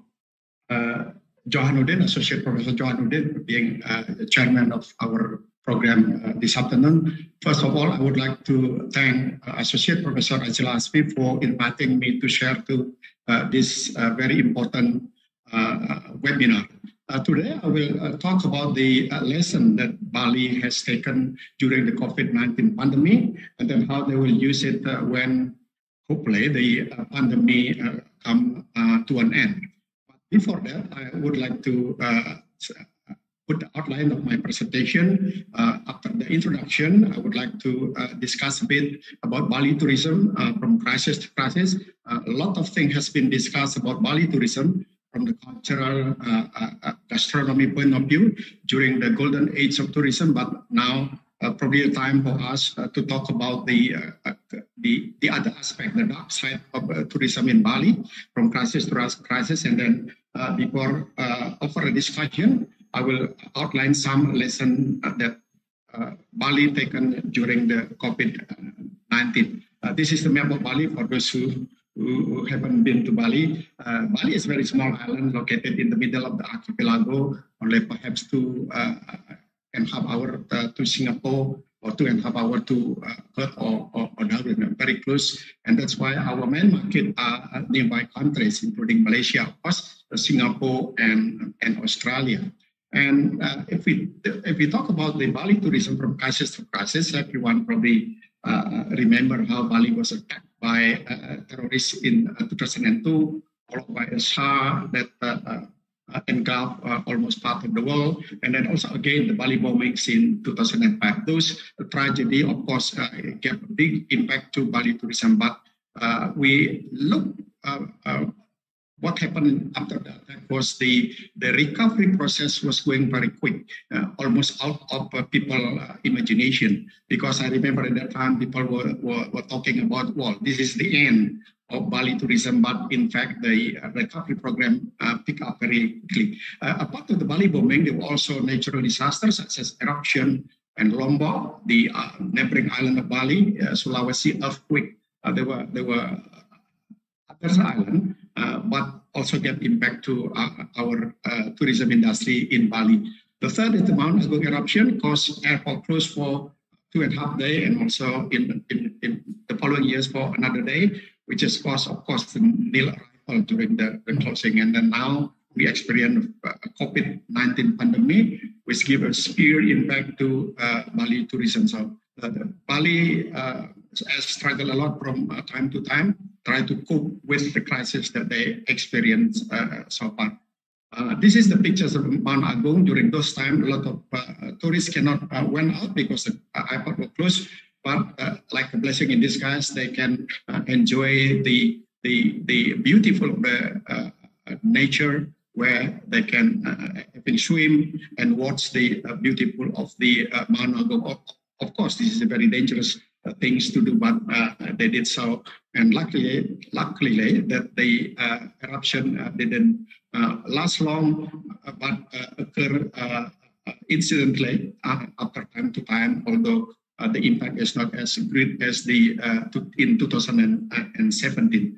And if we look at the the, uh, the crisis that Bali tourism uh, and compared to the number of arrival, uh, if uh, we look to the, the 2003 arrival, it's dropped below 1 billion. Uh, this is certainly caused by the Bali bombing and then pick up quickly, as I, I, mentioned before. The recovery process was very quick because uh, Bali helped support from almost uh, every corner of the world in terms of marketing and also security in place. And although the second bombing in 2005 occurred again, uh, the, the arrival number uh, uh, didn't give much impact to the uh, arrival number. And straight from the 2006 to 2018, uh, Bali received uh, almost one, just over one, six million uh, foreign tourists uh, arrival to Bali uh, directly. It didn't include the number that came to Bali from other airports like Jakarta, Medan, Manado, and, and, and, elsewhere. This is only those who arrive directly uh, to Bali and the contribution of Bali tourism to the national uh, tourism uh, until 2018, Bali contributed to 38% of the number of international uh, arrival. This is this is very important to uh, show to you because uh, during the pandemic, government uh, uh, has given a very uh, serious attention. they spoil Bali in order to make possible uh, tourism can uh, pick up quickly because once Bali tourism pick up, then uh, economy of other region in Indonesia could also help. Uh, this is uh, because of the contribution of Bali to national uh, tourism has been very, very high. And in terms of economic growth, I got this from from Bank Indonesia. I'm not an economist. I just use this and read this. As you can see, that the economic growth of Bali, growth of Bali, usually above of the national national growth, which is something on the contrary when the pandemic attack all, uh, all of us. And, and uh, the other thing that need to mention also that the central government uh, in Jakarta has a, prioritizing uh, tourism in Indonesia because uh, our government has has always mentioned that they kept prioritization, but in reality they almost uh, done very little. But the current president, since he came to power in 2019, uh, 14, 2014, uh, he put a lot of uh, breakthrough in order to increase because he was ashamed to see the statistic of the arrival number, at least as an indicator, of the arrival number into a Southeast Asian country. Thailand was 38 million in 2018, Malaysia 25 million, but Indonesia, considered as the, the, the biggest country uh, by geography, only received uh, 15.8 uh, million, far below than uh, Singapore. So based on this uh, figure, the government tried to push uh, strongly to develop tourism in Indonesia, among other things to to create uh, what they call it uh, an new Bali, uh, to create another Bali uh, elsewhere, uh, and also uh, later on to give a super priority tourism destination in five destinations, including Borobudur heritage and also the the Komodo Island, the, the Dragon Island in the East Nusa Tenggara. Uh, uh, this is also become a, a big reflection for uh, our government because the competitiveness index of Indonesian tourism only placed on the 40th out of 140 country, which is very low compared to the rank of the our neighboring country in South Asia. And uh, when all the priority was given by the government, then we know that the pandemic struck us all uh, around the world. And then the, the, the, the, all the program were like stand still very very hard to uh, continue whatever effort has been done, which has always uh, always follow the situation, uh, the up and down of the uh, infected number, the up and down on the, the, the arrival of new variant strain of virus, uh, all uh, influence the attempt to to re- to recover uh, tourism. This is the figure that uh, in 2019, 2020, uh, I mean, there was a news on the Bali's mystery immunity to COVID-19. Uh, everyone uh, seemed to think that Bali uh, is a magic island, has a certain immunity. But in fact, if you look at the number, the number says something different. we are not really immunity from the virus. The number continue to increase. Just the, the uh, uh, yesterday number, the 8th of July, uh, we got 577 increase infected coronavirus just in the small island uh, of Bali. This is very, uh, very high number, and the government uh, put the lockdown emergency for Java and Bali. Although a lot of people in Bali uh, didn't like to uh, to accept this, but uh, the strong measure put by government, uh, the data that uh, convinced the people, then we have no other choice to, to accept this. If we look at the number of the, infected uh, by day and the possibility of reopen, the idea to reopen Bali, Bali need to, to, to minimize the number of infected uh, into 100 or below. Uh, and this is very hard from 500 to, uh, to 100, but who knows? Uh, we, we don't know. And the uh, economic uh, impact to uh, Bali, uh, especially from tourism uh, point of view, certainly seen shown by this data. In 2019, there were 5.8 million tourist arrival internationally, but this dropped into 1.2. So the growth was minus, 79 or almost 80%, which is a, a big drop. Uh, likewise, also the domestic arrival uh, from 4.1 into only 1.3, uh, minus almost 67%. in terms of economy, as we saw just then, the economic growth of Bali generally above the national economic growth, but the high uh, dependence of Bali into tourism economy. And when tourism uh, start or stop, uh, the impact then certainly uh, uh, subsequently high too. And the, the third year in 2020, the economic growth minus almost 13, 13%. This is the direct uh, relationship between the high dependence on tourism. When I look into the number of the uh, impacts of pandemic in terms of the local economy into the Komodo Island, island uh, uh, in the his uh, Tenggara, uh, their uh, um, minus was less than 1%. So they still has other source of economic to uh, support the, their economic. But Bali uh, highly rely on tourism.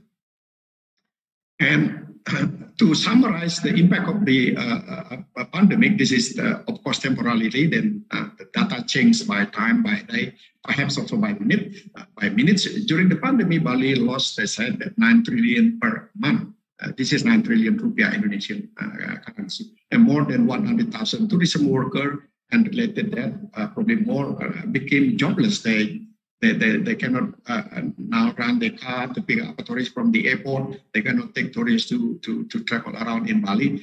And as I said before, the Bali's economic growth was minus 12.28 the third quarter of 20, the third quarter of national figure uh, was minus only uh, less than four. So the, the, the, the, gap is very high. And misery continues following the second lockdown. So that was the first lockdown, and now it's the second lockdown. But we in Indonesia use uh, our local language to say lockdown. Lockdown is not used, but uh, people are more familiar to use this uh, terminology. And this is the report from the, the Straits Time. It said that Bali second lockdown, misery just as re, reopening uh, was inside because the the other impacts of the uh, uh, pandemic also uh, uh, fell by monkey in the very popular monkey forest as tourist attraction in Ubud in the south central of Bali. And I got from the newspaper that the management of the monkey forest it costs four million a day uh, for month to, to feed up the monkey. Uh, they feed them with the cassava, uh, uh popo or papaya, and other type of food that uh, that they already uh, know what best for them uh, after after consultation with the veterinary veterinarian. So there are a number of monkey forests in Bali, and they also suffer from spotting themselves in order to keep the monkey healthy. Uh, in the normal day, this monkey forest would earn, uh, depending on the uh, high season and low season, almost 200 million rupiah. Uh, 200 uh, million rupiah per day, uh, probably higher than the most uh, profit would earn by a star hotel. this is very popular because it's located in the tourism track close by Ubud destination. And uh, let me do a break a little bit. This is a short clip how the international media, especially Australian News Broadcasting Corporation, uh, uh, report what happened in uh, our island. I hope the audio is, uh, is uh, could be heard well. The waters in Bali's north are a popular dive site for European tourists, but a year after tourism was banned, the beaches are almost deserted. Hotels and restaurants are struggling to stay afloat. Across Bali, countless hotels and villas are for sale, many because the pandemic has decimated their businesses. Indonesia is now looking at ways to allow foreign tourists back to Bali if they've been vaccinated or test negative on arrival. The plan is for a COVID free corridor with individual cities, ideally, some of them in Australia. Either Melbourne or Perth based on big data, it should be Perth because Perth is the uh, the ones with the most um, tourists, incoming tourists. Tourists could only visit designated areas such as Nusa Dua in Bali south, where the local population would be vaccinated in advance. The country's tourism minister has discussed the idea with Australia's ambassador, although not yet with the government in Canberra but he's hopeful a COVID free bubble could revive Bali's devastated economy. I've heard a request of opening up this uh, corridor by end of March uh, or early April. Let's see. I don't want to give any false hope. The plan would also include funds. I think uh, that uh, should be enough on the uh, what happened to the uh, tourism industry. Some hotel uh, then uh, on on sale they cannot survive the pandemic because it's just just like an unended uh, uh crisis uh, already one and a half years now. Government government very try hard to uh, put back the tourism industry from from Bali and beyond by doing other things that they never done it before. For example, the campaign of the Cleanliness Health, Safety and Environmental Sustainability in brief is called CSHE uh, in order to ensure the, uh, the uh, visitor, if they come to hotel, uh, that they, the visitor feel uh, very safe, something that already mentioned in, uh, in the Professor Dallen presentation, how important for the industry to make their guests safe uh, and having good uh, experience. Apart from that, government also uh, grant a tax return to eligible tourism company in Bali, something that never done before, uh, because uh, in the past during the golden age of uh, tourism, tourism company are the main source of the local and central government tax income. now they they do it by doing the tax return.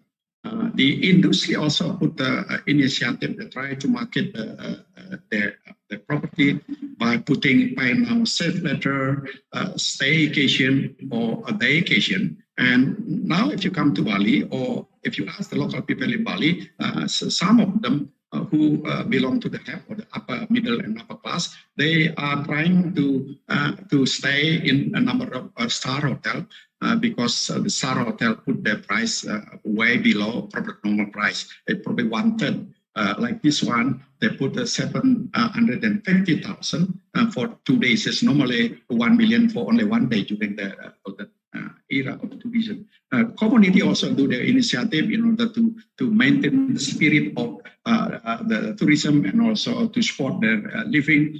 they do a virtual tourism. Although this is not a solution, for the uh, uh COVID-19, but they're doing that uh, to maintain that they are there, uh, they are promote to other potential customer to put their product in the mind of customer. Who knows when the pandemic come into the end, they become the first to uh, to choose. Some of them also return to agriculture, and apart from that, government also uh, uh, introduced what they call it work from home to copy the uh, popular uh, uh, phrase of work from home to become work from Bali, promoting Bali as an ideal home for digital nomad tourists. And if foreigner work in Bali and in Bali or in Indonesia, and they can they can receive a free tax as far as they don't earn money from the Indonesia. If they earn from elsewhere, uh, they, they don't become a tax target.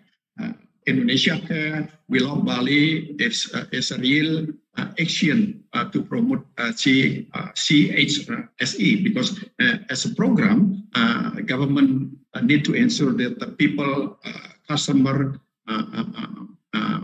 management understand and really put them into practice. Government give a free travel uh, to a millennial group with the condition that as long as they have minimum uh, 2,000 follower in Instagram, they can apply. Of course, the, those uh, who then uh, selected were based on their highest. The highest you have, the more chance you have. So they were taken everywhere uh, to to to to send the message that living with COVID, travel still can be an, an enjoyable things to do as far as the uh, protocol, uh, health protocol uh, in place closely.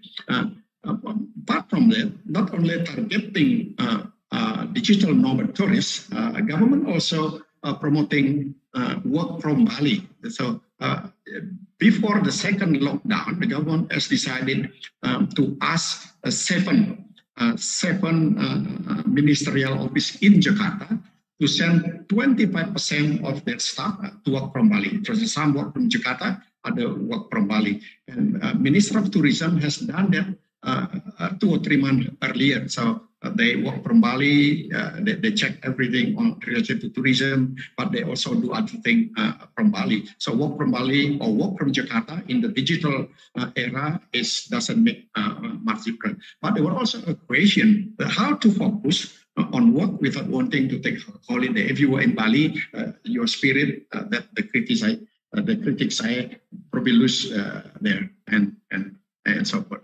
And apart from that, the uh, government also uh, do a mass vaccination program in Bali uh, to make uh, three uh, three green zone area in the Nusa Dua in the south, uh, Sanur uh, in the middle, and also in Ubud, the village that I just mentioned before. And Jokowi went to Ubud. Uh, she was greeted by a, a, a beautiful Balinese there, and and this area. Uh, are expected to become green zones ready uh, to receive uh, tourists but that's not always uh, uh, uh things can uh, uh, occur as planned because they all depend on the situation with the COVID. And the good news was spread around, and this is really almost occurred when Singapore Airlines uh, direct flight uh, tried to take uh, service from from Singapore to Bali from 4th of May. So every system, airport, staff, everything has been organized in welcome uh, the new uh, form of tourism bubble between uh, Bali and Singapore. But as we see, the travel bubble create a trouble because the uh, pandemic uh, case uh, has increased in India and in Singapore Airlines postponed plan to to open direct. So a lot of attempts has been done, but what happened in reality always depend on things. And this is why watching the development of tourism everywhere, the United uh, Nations World Tourism Organization, Zurab uh, Pololikashvili said that now as we want to restart tourism, we must recognize that restriction are just one part of the solution. So we cannot ignore the tourism, uh, the, the, the, the, restriction. If we open uh, things and, and things probably fall apart uh, and it's better to put restriction in order to keep uh, tourism uh, develop slowly. And this is what the, our minister say. We will be waiting for the situation to be more conducive. Although talk has been done to the Australian ambassador in Jakarta, things all depend on uh, what happened. Bali tried to uh, uh, reach the target to get 70% of the people vaccinated. so far, we got only 70% uh, from the uh, 70% target. So still uh, some way to go, but the preparation is going there. Hotel property on sale, as mentioned in the news before, I don't want to repeat. And this is the last part of my presentation. Lesson from pandemic. I, I take note after talking to uh, several uh, general manager of hotel in Bali. Uh, they generally give this give this five of lesson. Probably there are more other, but uh, five could be easily uh, cover most of the thing. One, attitude toward hygiene is not negotiable. So everyone has to adjust their service or, hospitality uh, uh, with uh, in accordance with the hygiene, something that perhaps not surely attended before. And when the customer believe in your service, uh, then become a trust. And trust is a new mantra. You don't have to say anything. You don't have to spend a lot of money to promote.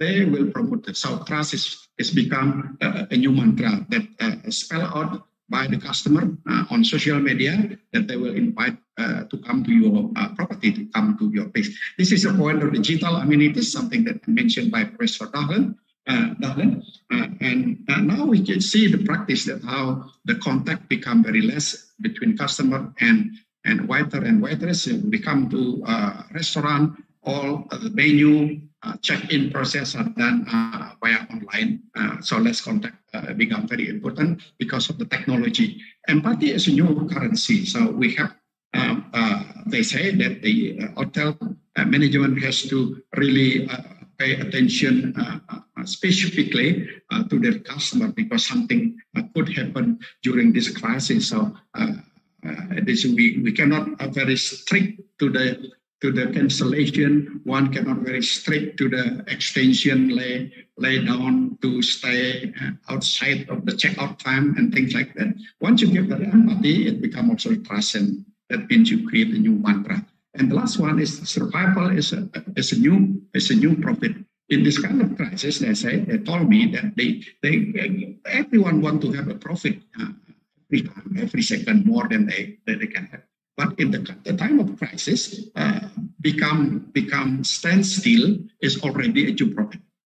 So you don't have to to, to sell your property. Uh, you can maintain things. Uh, you can employ people, probably ten or twenty percent. as long as you survive, uh, that is a form of profit. Those uh, lesson uh, from pandemic uh, uh, Uh, uh, uh, exercised by Balinese in tourism industry in Bali, then I'm sure that having this one and that they always spread it out among their uh, professional networking, uh, we believe that the uh, industry could survive as long as the pandemic COVID and very soon.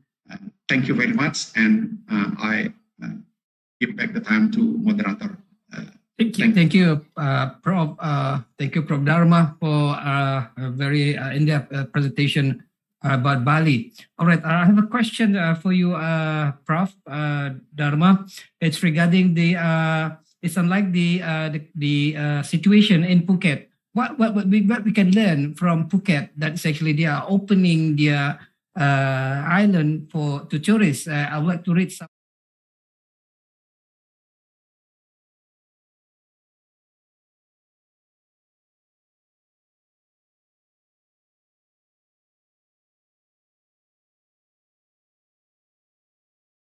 Coming travelers, the island are now being rapidly vaccinated.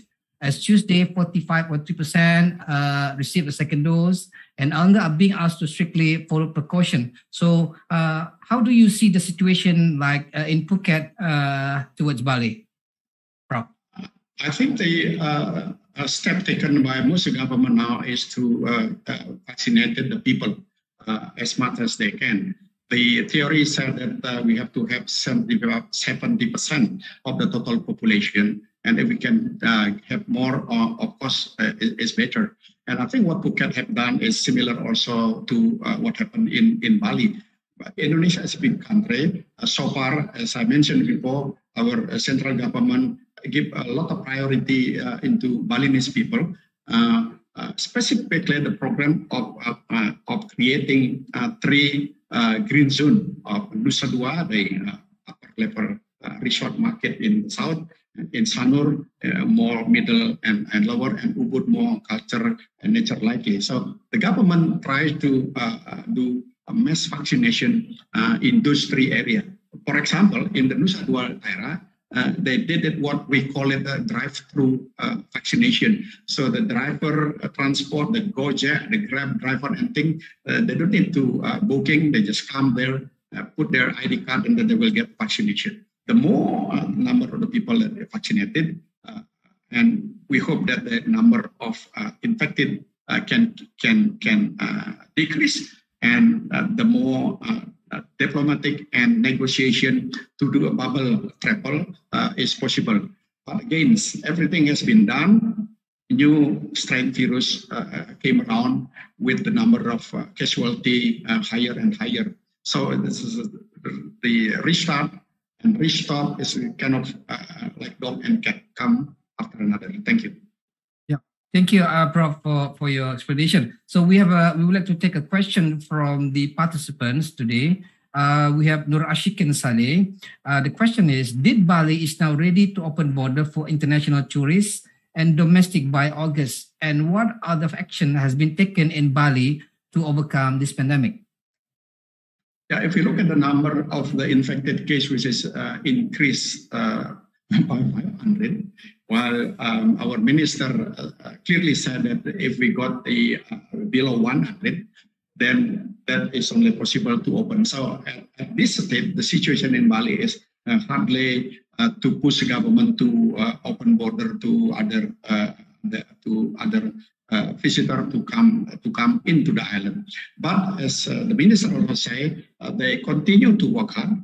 Uh, who knows? Uh, suddenly, uh, we don't know the attitude of the virus uh, the number has dropped down and the negotiation uh, should be uh, open up again for bubble travel, especially with Singapore or Perth in Western Australia, which is very close.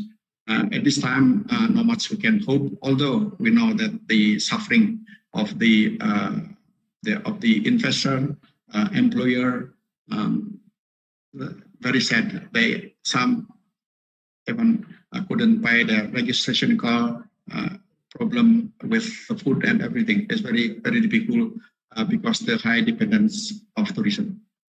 Yeah, thank you, uh, Prof, uh, for your depth explanation about the situation right now in Bali. Right, so uh, thank you very much for your presentation.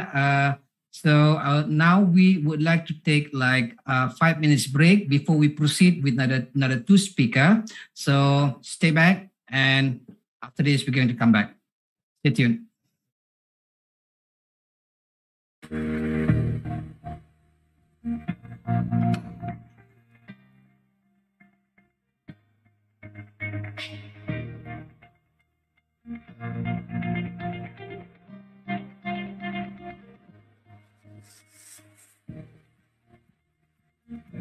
Thank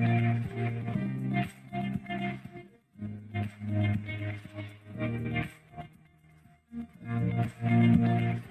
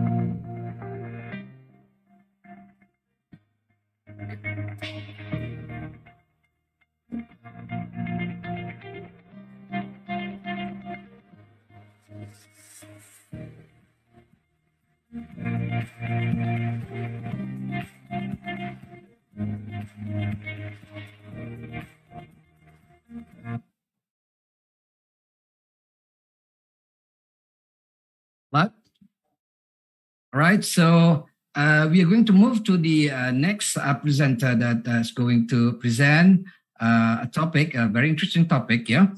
Um, before I proceed, I would like to introduce our next speaker is Dr. Daisy Fan. Uh, Dr. Daisy Fan is the principal academic of Bournemouth University Business School.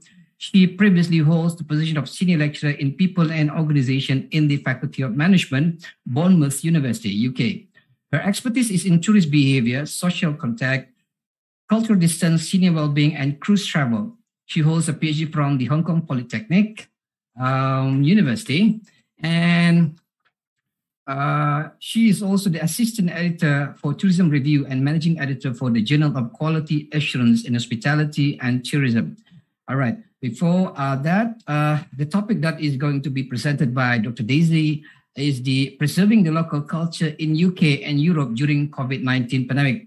Without uh, further ado, I would like to welcome Dr. Daisy to present a topic. Please, Dr. Daisy. Hi, thank you.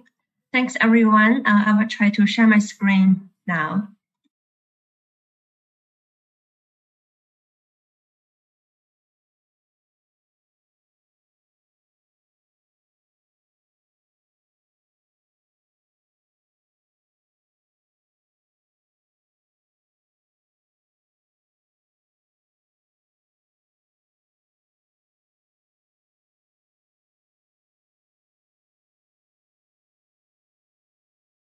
Good afternoon, everyone. Um, it's a great pleasure for me to be here and share some of my thoughts on this topic.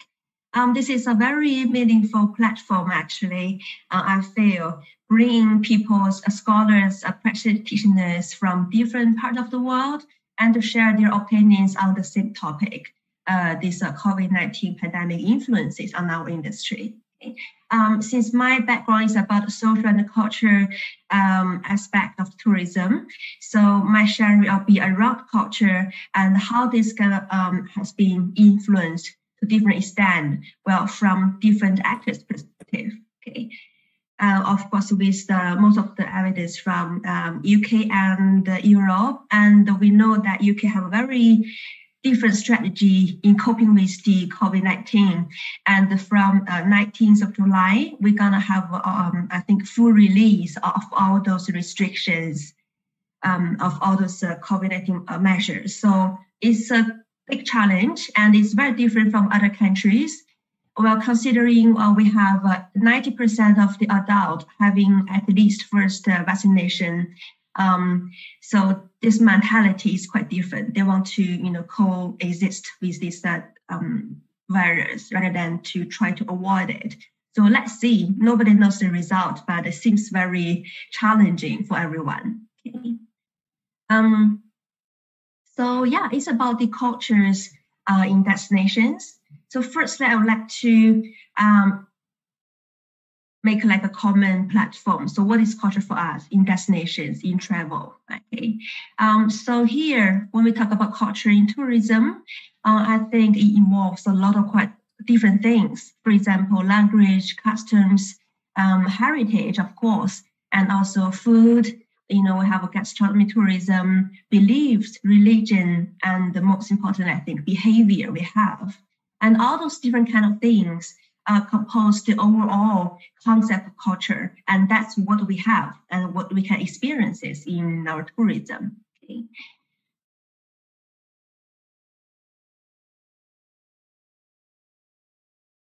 Well, if we think about culture, you know, it's like a very intangible thing. So how do we understand culture in our travel?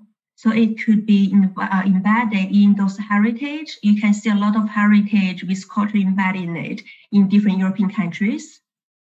we have different culture we can feel or we can interact with the local people uh, from those uh, traditional uh, handcraft or like different workshops. So that also the way we can feel about culture for destination.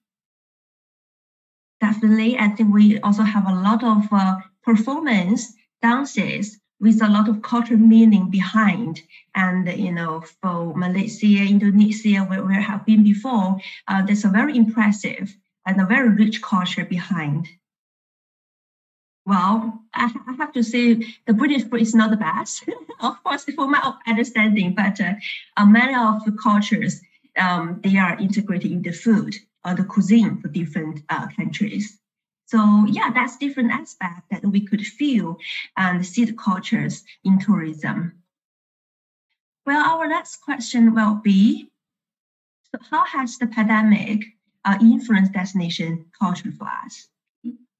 So we have some very uh, direct influence we can see, and very similar with other industries like uh, uh, hospitality or some other sectors. Um, less visitation. Okay, um, we are all locked down. We cannot really travel free, so we have less chance to visit those uh, places, especially museums, cultural heritage, and also different uh, sectors also pre- uh, preservation of the uh, past. A lot of uh, um, like uh, preservation works they have to stop because people cannot really work at zero because of uh, COVID-19. Less fund, maybe from the government, um, they are less fund to support these uh, cultural sectors for them to uh, like to to build up something new or to innovate from the uh, from the foundation, uh, since it is not really the priority right now. And of course, less interactions, especially we mentioned a lot of culture could be uh, learned or built through social interaction, but now this all suspended. Well, for those listed things, uh, as far as I observe, I feel is quite short term. As long as we have the tourism reopened, those things can be recovered, you know, uh, uh eventually. But those uh, uh, influence are very heavy for the subculture sector. And as for any other sectors, how you know, has our industry responded to cope with those changes or those um, uh, challenges for this sector? Of course, digitalization is one of the major tools we could use to um, re- like to reduce the impact from this uh, COVID-19. Okay.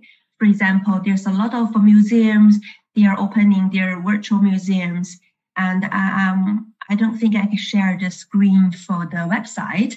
Um, this is like for the uh, Natural History Museum London. They have explored different ways to engage with the customers and to let you still um, interact with the culture bit, even though it's online. But they give different programs. Some of them are very innovative, uh, like interactive some are particularly designed for the kids. You know, they are also locked down at home. They should, they could also learn from those uh, virtual classroom.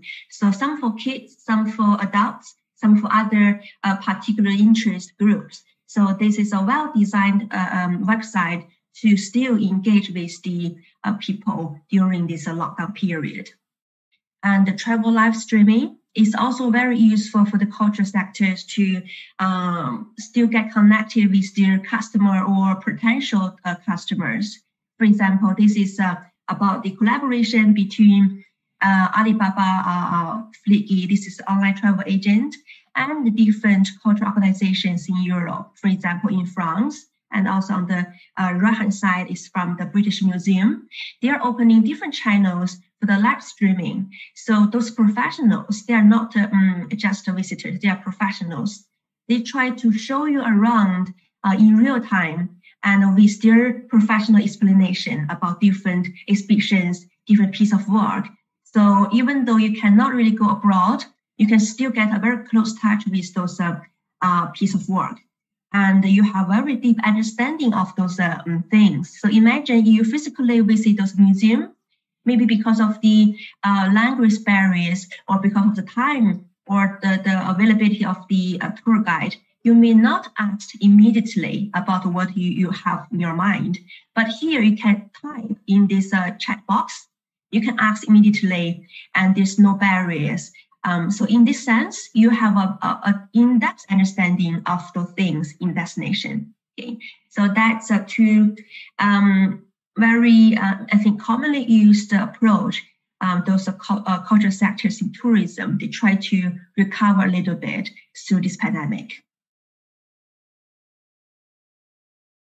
When we talk about the culture change or cultural influence from the industry, uh, what about for the local residents or for the local communities? Since that's also one of the very important stakeholders in this tourism uh, uh, industry.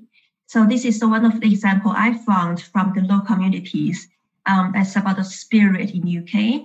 Um, during this uh, very challenging time, people tend to express their humanities and uh, engagement a commitment with the public sector and especially with those uh, key workers, what do we call key workers. So that means the uh, people in the NHS, the uh, national health services, mainly about the nurses and the doctors. So this is like initiatives very interesting. Uh, people uh, initiate this campaign.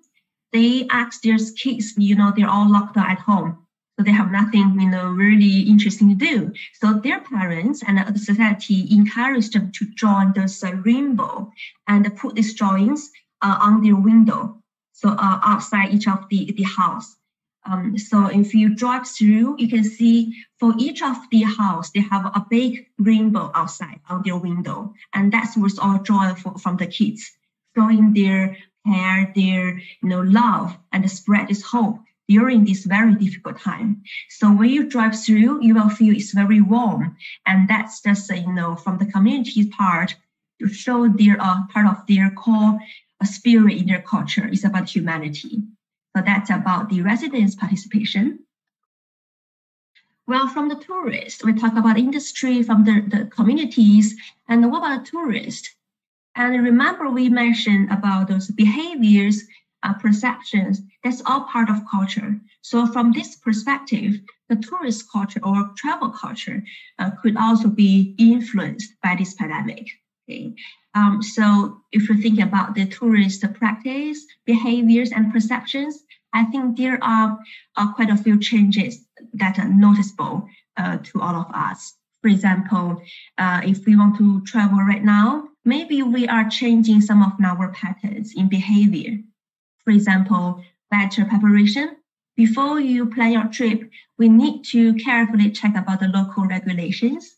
Um, are you in the like safe zone? Um, do you need to have a self quarantine before and after your trip? That is something we really need to be uh, uh, uh, pay attention to. Also, most people, especially at the early stage, they prefer to have the domestic travel because of the travel restriction um, and also technology use. We have everything pre-booked right now since we try to control all those flow and the, the, the amount of the tourists. Um, privacy and the personalization, that might be very important if we want to travel. Uh, we want to make sure we are uh, like staying in a very uh, safe room, uh, well, uh, uh, like with a very good safety guidance behind and also P2P platform. I will introduce this uh, later on. And uh, trying to be flexible. Uh, we have to uh, take all these, you know, measures with us, even though, you know, uh, the flight could be canceled um, or the, the hotels are not really well um, opened. So what's our second plan? So that is we need really to uh, pay attention to. Okay. And also responsible behavior. So that is also I think, increase a little bit, especially uh, when you are traveling destination. Okay, we need to be careful. Be, for example, social distancing in the UK is like two meters apart from each other. So we have to be very alert with those kind of rules in mind when traveling. Okay? And also for the perception, I think the, the risk perception really increased a lot for the tourist point of view.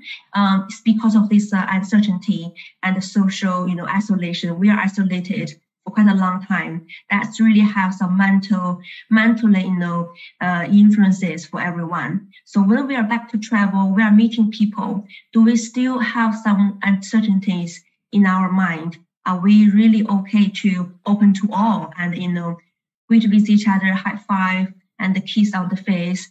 That's also different things might influence our perception and behavior. Well, will that be long term or short term? Since the pandemic is still being developed and it's still got ongoing, we cannot really tell uh, from now. But it's uh, for for sure it will influence us for a period of time. If this is ongoing or not, so that is still a question mark. We need to see it. Well, looking into the future, we have a lot of practice right now, and it's still the situation is developing. But we are looking at the future about tourism, about the cultural sectors. So what will uh, change or what still unchanged? That's some of the thought so far.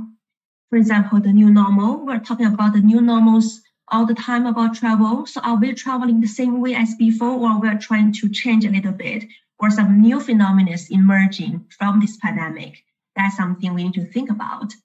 So, for example, staycation. We just mentioned this before, and this is yes, it's quite a new uh, phenomenon right now. Many people still, uh, you know, go to some hotels, resort locally just to have a bit of like feeling of traveling, but you know, within their hotel rooms, within the result, but they still can have kind of experiences of travel. Okay, and some of the people they stay at home but they have a virtual tour uh, globally to go to different museums have different themes so that is also kind of uh, a staycation also for the flights you know we have different air uh, flight com- uh, uh, airway companies they having the staycation is a fly to nowhere and then back in, in three hours just give you a feeling of fly to fulfill the needs of the people. You know, we have the desire to travel no matter how. And also, this is a, a, a very new uh, product I found the other day uh, when I was trying to find for my family in the UK. It's like staycations on the cruise. And it used to be very fantastic one in the, uh, I think I tried this in, Florida 10 years ago but um, this is a for staycation. They're going nowhere. You embark on, on, on Southampton and you get on the sea for uh, three to uh, four days, and then you are back to Southampton. You are not uh, going to land anywhere else. But you can enjoy the facilities, those musicals, concert, and those um, um, Disney culture in a very in-depth uh, approach. Okay, so this is uh, very good for kids or for family. And also, there's a lot of uh, uh, uh, cruise ships with the theme of culture, art, or music. Uh, or music. So this is all different examples showing us in staycation we can still embrace this culture, different kind of culture, but it just you, you, you stay there.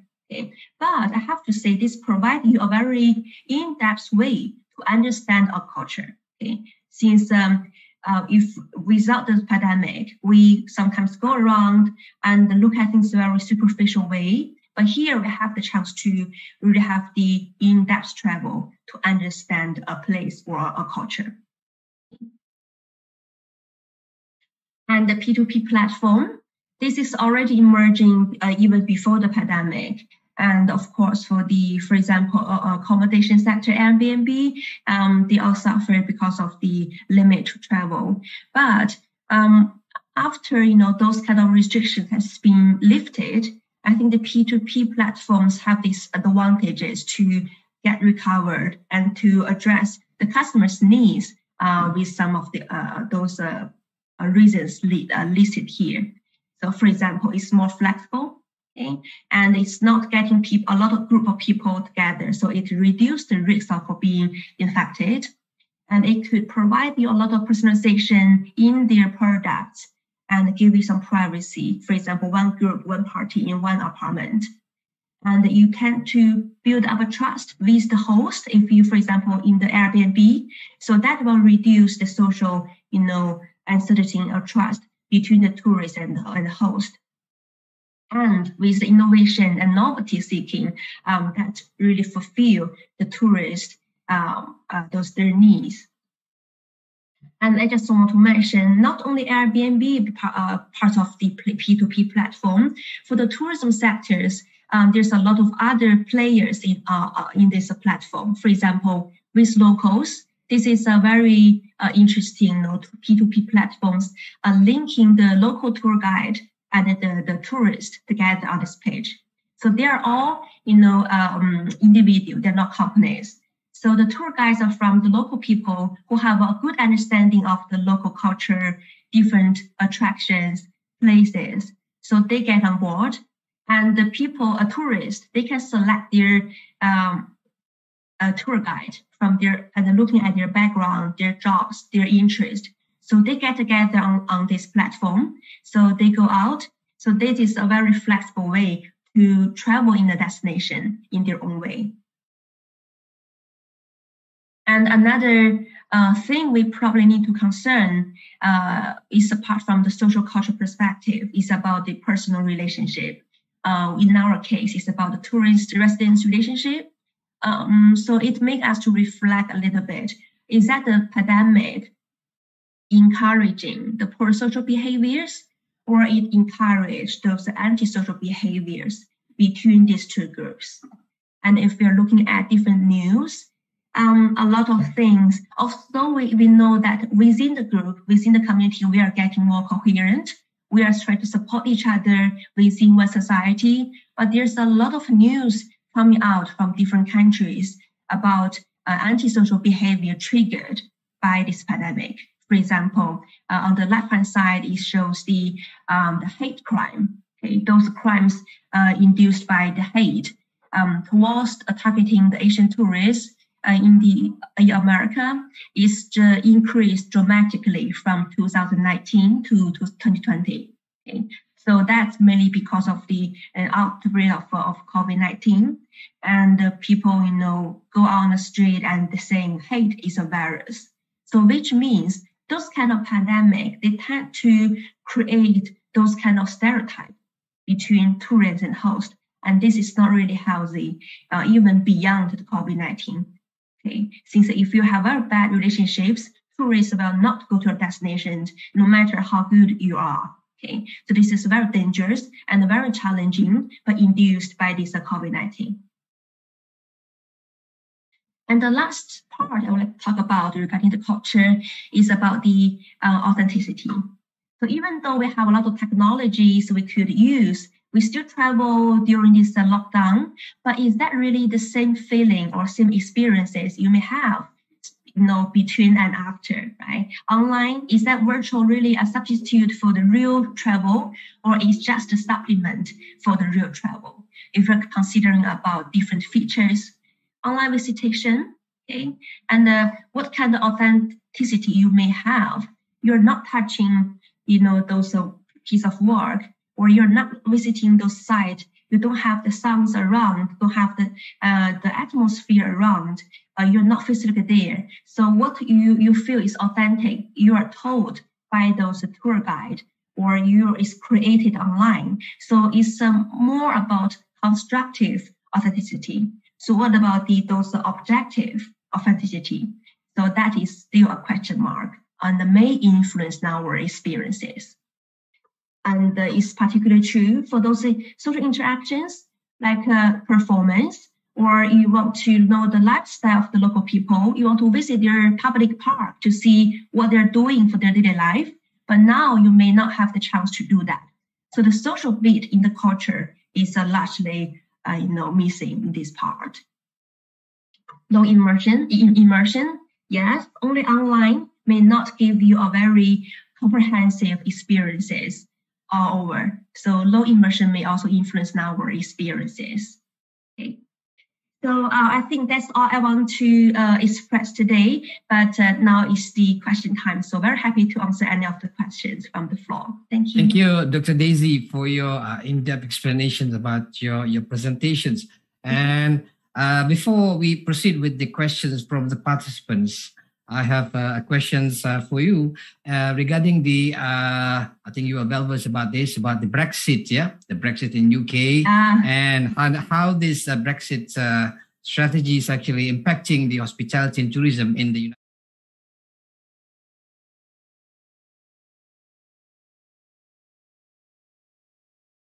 This uh, or debate for this for quite a long time. So I think uh, the most important influence so far is about the labor, the employability for hospitality and the tourism industry.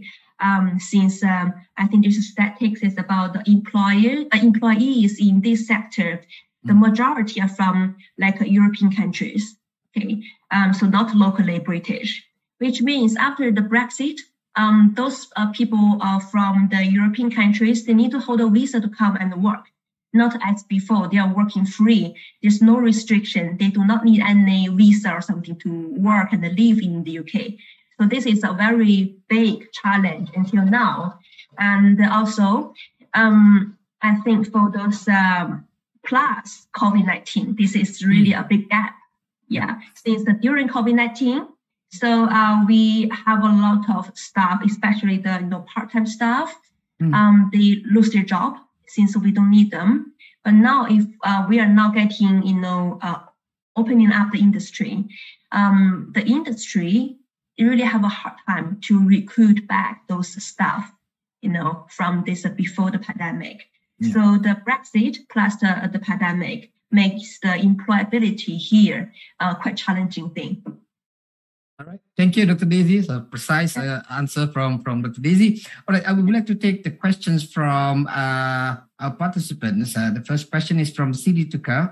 Uh, from Andira Bali. Yeah, Dr. Daisy Fan. I saw on television during the 2021. I have the same question actually, and uh, it's about the 2021 Euro Championships. Uh, many people, uh, public opinions, while the pandemic COVID 19 had not slowed down, what really happened is related to tourist culture. So uh, from from that questions, I also have. Uh, I'm a big fan of football in UK, Ah. and of course, definitely Arsenal is my my my Arsenal is my team, and of course, definitely a numbers of uh, Arsenal players uh, playing in the in that uh, uh, Brit, uh, England uh, squad, and when we see people uh, actually gathering around in Euro, yeah, Euro, because now we, we know Mm. uh, uh, England is actually is going to for the final with Italy. This is we are going to. I mean, you see uh, a, a number of uh, I mean thousands thousands of people is going to watch that that that game, and then uh, of course definitely the uh, physical distancing and definitely the rules and regulations. How, how do you see this thing, uh, Dr. Daisy? Thank you for this a very timely issue. Yes, it's uh these days, even though I don't really watch every game, but you can really hear that from your neighbors for every match. Okay, you don't need to watch it. You know what time they gotta go in since they shout. so that's like a national game, I have to Yes. say. Yeah. So yeah, every time after the England team, um, they they get a, a game, uh, they get a, like a, a match. So there's a lot of gathering, of course, especially for the not only the young people, not students, but you know, middle age, every age range. They go out, go to the pub. So they have a cultural tradition to go to the pub and drink the beer and uh, watch those uh, those uh, matches. So that really actually create a concern. But that's something, you know, um, we do not have really any solutions. But many of them, if it's good to sit outdoors, so it's better. But many of the pubs they're still inside. Okay, so this creates a lot of you know risk to uh, like enhance those kind of uh, infection. Um, and we also after the games, people go out to the square, to the the, the parks to celebrate, to the beach, Yeah. like in Bournemouth, they go out to the beach. So this is really getting it, it make it even worse. Um, but I have to say, there's not mm, much measures or regulations for those kind of actions.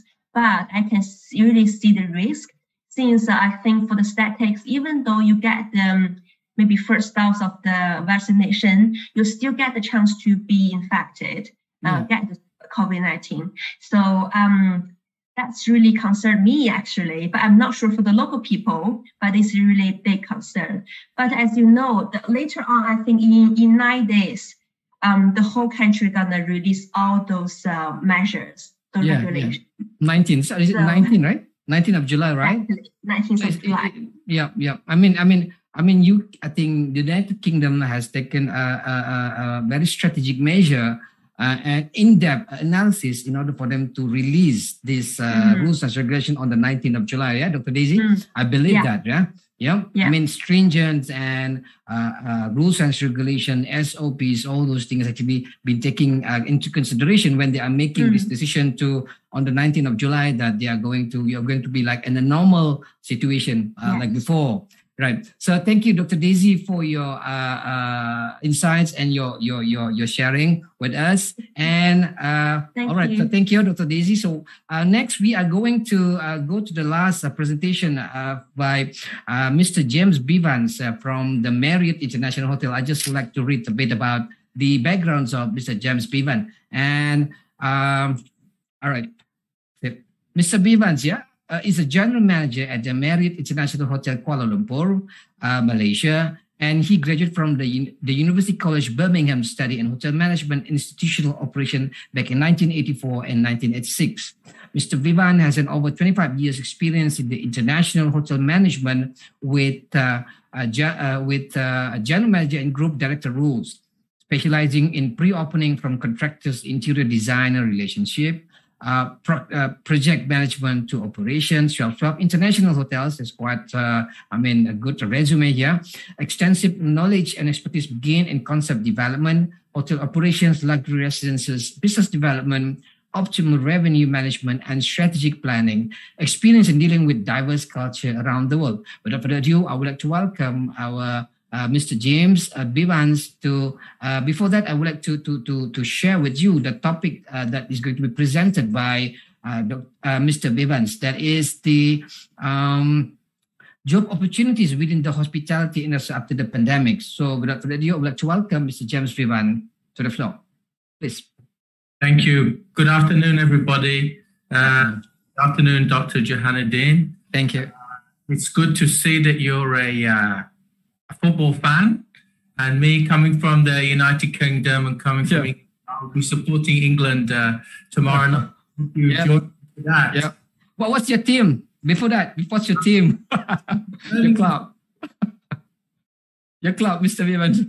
My Your club, Birmingham City. Oh, yeah, yeah, yep, yep. All right. Thank you. Well known, but not not a top team. But one day we'll get back to the top. I think yeah, I think a few times they're actually in the Premier League, I think. Birmingham.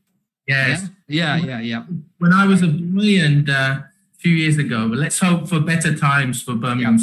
All right. Okay, please proceed. Thank you. Let, let you know that I spent a few years in, in Bournemouth at the start of my career, Daisy. So it's a wonderful it's a wonderful town, Bournemouth. I have such good uh, memories, you know, working in Ferndown just outside of Bournemouth. So Oh, yeah, I know it. Oh, that's great. But very not part of the world. Anybody visiting England should really try and, and take a trip down to Bournemouth. It's really a beautiful part of the world. Yeah, very Part of nice. that, Thank you, uh, James. the- the- the- but, but there is one team from Bournemouth, right? Bournemouth FC Football Club as well. Right. Uh, James, yeah, I think. That's right. Yeah, uh, they're um, amazing. When I when I first went to Bournemouth, they were in the, the third division. Now they're in the Yeah. Premier. League. So it's amazing. Amazing. Mm, yeah. yeah. So welcome everybody, and uh, thank you for giving me the opportunity to to speak today. And um, today, I just if you could move to the next slide, please. Uh, today, I'd just like to talk to you quickly about the JW Marriott Kuala Lumpur and also what we've been doing here at the JW Marriott during the pandemic. Um, also, the hotel industry and what we expect um, our hiring strategy moving forward, Marriott International and how we develop our associates, and um, opportunities with Marriott, um, how we've changed as a hotel and a company during the, the pandemic. And I just wanted to, at the end, tell you how great it is to be a hotelier. So, and what you can gain from being a hotelier. Uh, next slide, please.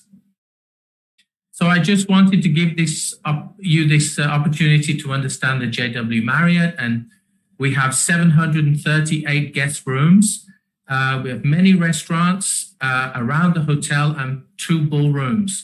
We're also connected to the Star Hill uh, shopping mall, which is a luxury shopping mall, and connected by walkway to the Ritz Carlton. So this is all in one complex located. Uh, next slide, please in the Bukit Bintang area, which is really in the heart of Kuala Lumpur. It's really a popular area, as I, am sure you know. Uh, and it's um, not far from the Twin Towers and next to the Pavilion Shopping Mall. So our location is really a second to none.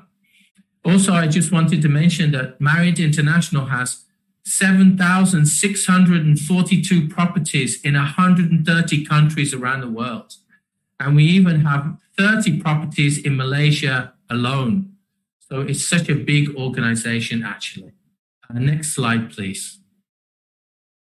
And this is um, one of our um, guest rooms. Uh, all our rooms are newly renovated and are in a very good uh, uh, condition. And um, yeah, they're very well appointed. So all the guests are very comfortable in our rooms. And just to let you know that before the pandemic, this hotel was running 90% occupancy throughout the year. So um, a tremendous amount of business and popularity for this hotel. And I think you'll find that most hotels in Kuala Lumpur run very good occupancy.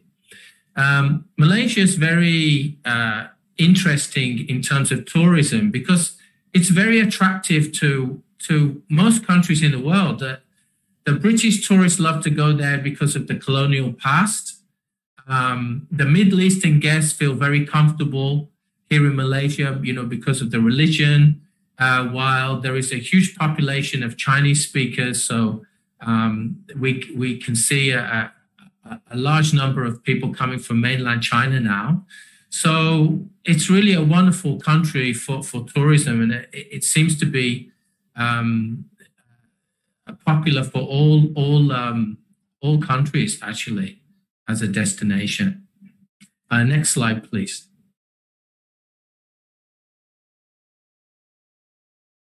So, having said that, we have a lot of restaurants throughout the hotel that cater to all these travelers. We have two Middle Eastern restaurants. We have a Japanese, Cantonese, Shanghainese. Uh, we have a global cuisine as well. And the picture uh, here shows our newly renovated restaurant, which is in the lower level, um, which is part of our Star Hill Dining, which is a complex of different um, restaurants, um, including a very popular uh, Luk Yu Tea House, which does wonderful dim sum. Uh, next slide, please.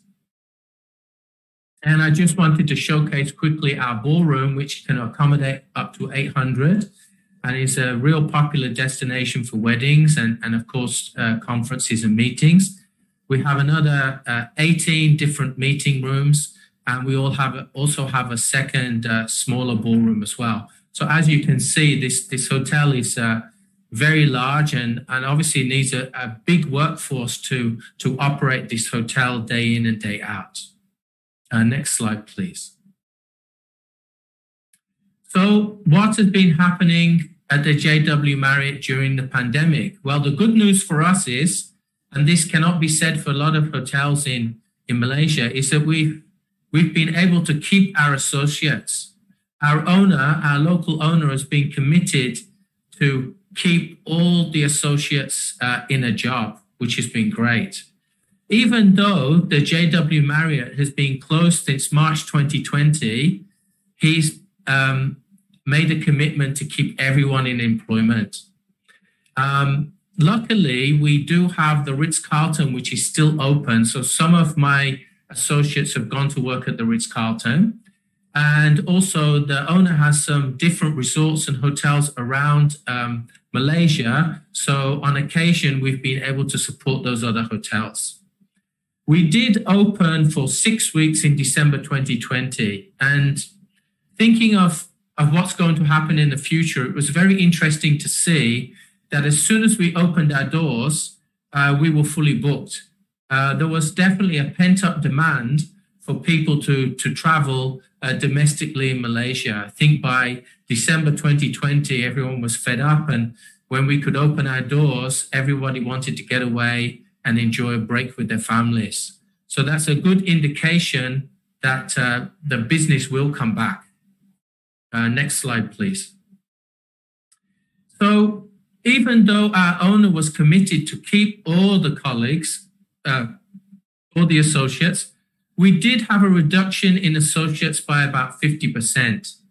And this was because there was some small salary reduction and there's no tips and gratuities for the staff. You know, if you think about the positions like the, the concierge and the bellman, they rely on their tips.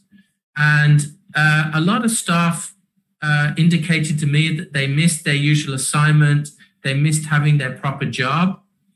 And also for a lot of people, it was an opportunity to try something new. And I think hotel associates are always in demand because of their excellent training and their excellent customer service skills.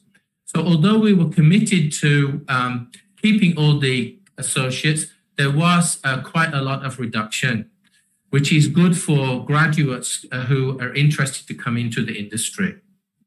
Uh, next slide, please. So what do we think about the industry and what's going to happen? Well, we feel that there's a very strong sentiment to travel. Um, so we expect that there'll be a big rebound in travel at the end of 2021 and into 2022. There is also some buying power because um, people have been in lockdown, their lives have changed, there's been no eating out, no holidays, and we feel less expenses. So um, we can also see that uh, countries across the world have begun to loosen their travel restrictions this summer. Earlier this week, Germany became the most recent country to reopen borders with the US and the UK for leisure travelers. Also, we expect to see as soon as the numbers in Malaysia go down, and we, we, we're hoping to open our doors in, in August, um, sometime in August, we look forward to welcoming domestic travel back, um, then followed by humanitarian travel, which means that people will be traveling to reunite with families, with their family members, um, followed by business travel. And there's a new segment we're interested in, which we, we like to call pleasure. We do think that more and more business travelers, they like to combine their business travel with some leisure. And, you know, Malaysia is uh, such a, a wonderful place to experience all the culture and the food and everything you have to offer. So we really want to make sure that we're geared up for this, this uh, pleasure traveler. And then finally, we hope that uh, groups and uh, meetings and incentives will come back and, uh, and pick up in 2022. Uh, next slide, please. So, what is our hiring strategy? Well, we'd like to promote with within. Uh, we feel that we have um, an opportunity to to develop and and promote the associates we already have, um, and then we'd like to look at hiring fresh graduates. Why do we prefer fresh graduates? Well, we like to mold them into the way we want and they won't have any bad habits from previous employees. And we get to teach them the Marriott International standards for hotel management from the beginning. So we're very keen to hire fresh graduates um, moving forward. And we also like to fast track our associates. You know, there are so many opportunities in so many different areas of the hotel. So there's a real need to train and fast track associates so there's never been a better time to get into the hotel industry and to be able to develop develop very quickly and get to the next uh, level very quickly. When I was a, a young man starting in this industry, usually you expected to work 18 months to two years in one position before you were given an opportunity to progress, but that's not the case anymore. Uh, rapid progression is, is definitely an opportunity for everybody. So Marriott uh, International have a lot of um, uh, training and development plans for associates. So the first one is the Symphony of Service, which is um, for all supervisors and managers for high guest contact associates, and it gives them the tools and the skills to give the uh, approachable luxury service that we want all our guests to feel. So that's a, a, wonderful program. So everyone can really understand what it is to, to serve in a luxury hotel environment. We have amazing online learning uh, programs which have been developed for all Marriott hotels around the world. And of course, we have a lot of experienced local and international managers working here who can can um, uh, pass on their experience of many years. So uh, nobody better to learn from than an experienced professional who who you're working with uh, in your department day in and day out. And of course, one of our big focuses is what we call commitment to clean, which is where um, Marriott International developed a program on hygiene and health of all the employees. So we've put a lot of time and effort into making sure that we uh, sterilize and, and hygiene every every area is clean. And we have a huge commitment and there's a big training program with nine modules that all the colleagues must go through. Um, so there's definitely a comfort level for our guests when they come back that um, the hotel is very very clean and and uh, and hygienic. Uh, next slide please so there are so many opportunities. This is some advertising from Ritz Carlton for the what they call their associates, ladies and gentlemen, and you can see a very happy chef there on the left side. So, of course, the wonderful thing about the hotel industry, there are so many disciplines. There are so many different jobs to choose from. I mean, we have front office and loyalty, and then we have an executive lounge we have certain positions for people that don't want to be customer facing, don't feel confident, like the telephone operator and in room dining and at your service. And then we have those famous uh, departments like the concierge who organize everyone's travel and their and their tourist attractions, etc. And we have an amazing opportunity in our culinary department with, with all our different restaurants and to learn all those different cuisines. And of course, some people prefer housekeeping. And not to forget, we have uh, really well established sales and marketing and, and finance at the highest level, which are all supported by the international uh, standards uh, developed by Marriott. So there's really opportunities for everybody. Uh, next slide, please. So during this time, how have we changed? Well, we have, as I mentioned, uh, complex in, in our complex we have the Star Hill, which is a luxury uh, shopping mall which uh, has Louis Vuitton and Tom Ford and Philippe Patek, uh, to name a few of the luxury brands we have, which will definitely attract uh, the, the local and the international travelers once we reopen. Then we have the Star Hill Dining, which is a, an array of different restaurants that's completely newly renovated as well. And we've actually added an additional 160 guest rooms. So that means our, our inventory has gone up. So it means our pricing uh, has to be adjusted slightly, it means that uh, staying at the JW Marriott will be um, much more affordable than in the past. Um, we've also added extra meeting rooms and we've got we've had new concepts. We've also spent this time in looking at the staff structure. Our owner has also been very involved in that to see how we can do things, how we can streamline our business and, and how we can structure our hotel more efficiently. And we're looking looking to develop new markets in, in sales and marketing. And um, as I mentioned, a lot of improvements in, in, in the hardware as well. Um, and next slide, please. We're also pleased to announce that we have a co-working space that we've developed. So we're excited to welcome new and small businesses, freelancers, remote workers and commuters. We think that this is the future and uh, we have a very large co-working space to uh, enable these freelancers and these remote workers to collaborate uh, in, a, in a modern working space, but also at the same time uh, use all the facilities that the JW Marriott has to offer. So we're very excited. We're ready to, to operate that as soon as the hotel doors open. And last slide, please. So I just wanted to thank you and uh, just explain to you that being a hotelier for me has been a, a wonderful journey.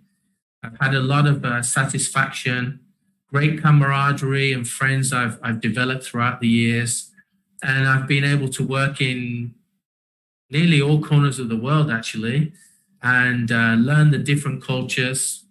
So I encourage anyone that's interested in joining this fantastic uh, industry. There's never a better time to join now.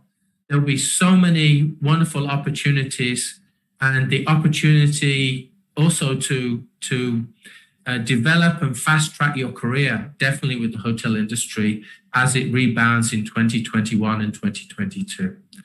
Uh, thank you for inviting me, and uh, it was a pleasure to speak to you today. Thank you. Thank you, uh, Mr. James Vivan, for your insights and uh, uh, in-depth explanation about what is going on right now. And I have, um, all right, before we proceed with the questions, I have a questions from the participants. And um, before I proceed, uh, I have the same, what I call, um, feeling when you are the Bonvoy uh, members. I'm a Bonvoy members, and they keep on like sending you the the promotions. What so it, it becomes like I, I like my my my favorite place is uh, I love Langkawi. That is my place. That is my heaven. That is my uh, I can say heaven for me. I love Langkawi. Uh, so uh, they, they keep up like always uh, send me the the, the brochures, uh, send me the the uh, what they call from the emails, and of course, uh, the, the, the, from the uh, Bonvoy application. So uh, it seems that we hope that the uh, pandemic is going to, uh, I mean, the numbers going down and people be allowed to travel. So as like I suggested, as I've suggested before, uh, say for example, like I have this, uh, uh, when I read the reports, yeah, I look at the I did some analysis towards the uh, what is going on right now.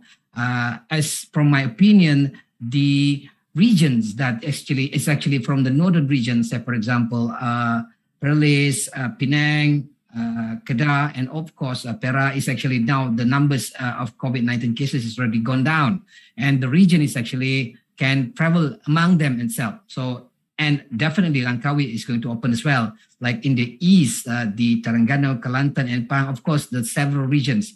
And of course, uh, the down south, like uh, west region, Kuala Lumpur, Putrajaya, and Selangor. Of course, now they're having uh, lots of cases. And going down to, to southeast, uh, south, south uh, region, that is Johor, Malacca, and Negeri Sembilan as well, right? So what I can see is maybe we, I do not know, maybe we, the, the government should look into the how are we going to to open the economy towards the uh, places that is actually recorded number of low number of cases. Say, say for example, uh, northern part is actually uh, the numbers is quite uh, it's, it's controllable actually. All right. So before we uh, go for the questions, yeah, uh, I would like to read uh, from Siti Bayu. From Siti Bayu, uh, the question is, does your hotel also implement employee reduction and replace their role by accepting more trainees? What is your review on the role of trainees during this COVID-19 pandemic? James? Yeah, we, we, um, we really think trainees play a very important role. And um, I must say, when I started in, in my career, uh, trainees seem to be a burden. You know, um, uh, you people were reluctant to put any time and effort into into having trainees in the hotel. But um, my thought is that these are the future um, workforce. They're the future employees for my hotel. So it's important for me to um, give them uh, a proper experience during their training um, spend the time to train them properly because I really believe that they will come back after they've finished their training, after they've finished their college, and they can be your future employees. So I think they play a very important role. And um, actually, um, you know, if you invest a little time in them, and invest a little training in them, we find that they're, they're very quick to pick up and, and to be able to be helped, uh, help to us. Um, in December, we had uh, a number of trainees that came and, and, and helped us, and the hotel was completely full, and we had a reduced workforce. So we had to get those trainees involved very quickly. And um, within seven working days, they were greeting guests, they were helping with check in, they were helping all around the hotel. So I think they have a big role to play. And definitely in the JW Marriott, we, we take um, trainees seriously. We give them a proper orientation. and uh, we make sure that they're involved and they're part of our workforce. All right, thank you, James. Uh, for the last questions, uh, we know Marriott is one of the biggest among among the. I mean, I can see the one of the biggest uh, hotel chains in the world, right? So, uh, what is your role as uh, one of the biggest uh, hotel chain hotel in the world towards that helping? I mean, you you have, you have more than more than 100 over uh, hotels property around the world uh, how do you from the headquarters in united states uh, try to assist uh, the people who are the employee of course definitely the hotels around the world in a global global scale yeah that's a very good question. We have um, a marriott business council here that all the general managers are part of.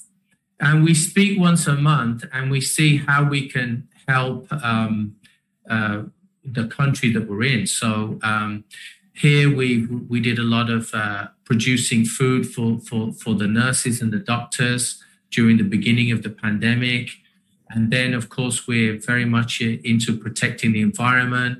So every month we have to. Uh, uh, report back to the uh, business council on our activities and how we've helped Malaysia and how we've helped the people. And um, we kind of work together. Um, for example, we went to some, um, uh, before the pandemic, uh, we, we joined a food drive in some um, poorer parts of, uh, of Kuala Lumpur, and we spent the day uh, giving food out to, to the locals, you know. So that's one of the initiatives we did as well. So, and there are initiatives. We have a number of Marriott resorts, so they, of course, want to look after the the, the wildlife and and and uh, and the countryside there. So that's part of their initiative. So, yeah, that's that's something that we have to do as a Marriott Business Council based in Kuala Lumpur. Um, but then we have to report that back to Marriott International in, in the states. Uh, the other thing is that we have um, a Marriott Disaster Relief Fund where Marriott Inter- International gives um, funding to um, uh, to countries in need. So actually, the uh, our council here in Malaysia we requested funds, and um, we were able to to um, receive some some uh, funds to be able to buy shopping vouchers for some of the associates in in uh, Malaysia, Marriott associates in Malaysia, who have uh, are on the lower end of the pay scale. Yeah. So anyone who earns a lower salary, maybe it's a lower uh, uh job, um, their name will be listed, and they they are um, able to receive shopping vouchers. So every month I get this team together I get sent the money to the hotel bank account, and then I buy them shopping vouchers. And um, they really appreciate that because it just gives them a little bit of um, extra food to to put on the table for their families, you know, during these difficult times. So those are a couple of ways that we that Marriott International supports the local community and, and our local colleagues. All right, thank you, James, for your uh, explanations about that. And all right, so uh, I think we have uh, finished the, the sessions for five uh, distinguished guests that we have today. And uh, just to wrap up, I mean, just to, to look into the, the first uh, from Professor Dallen, he was talking about the American USA in terms of how they manage the, the pandemic in in United States. And Mr. Daud talking about the Malaysian healthcare and how are we going to go further uh, on this possible uh, uh, uh development towards the pandemic.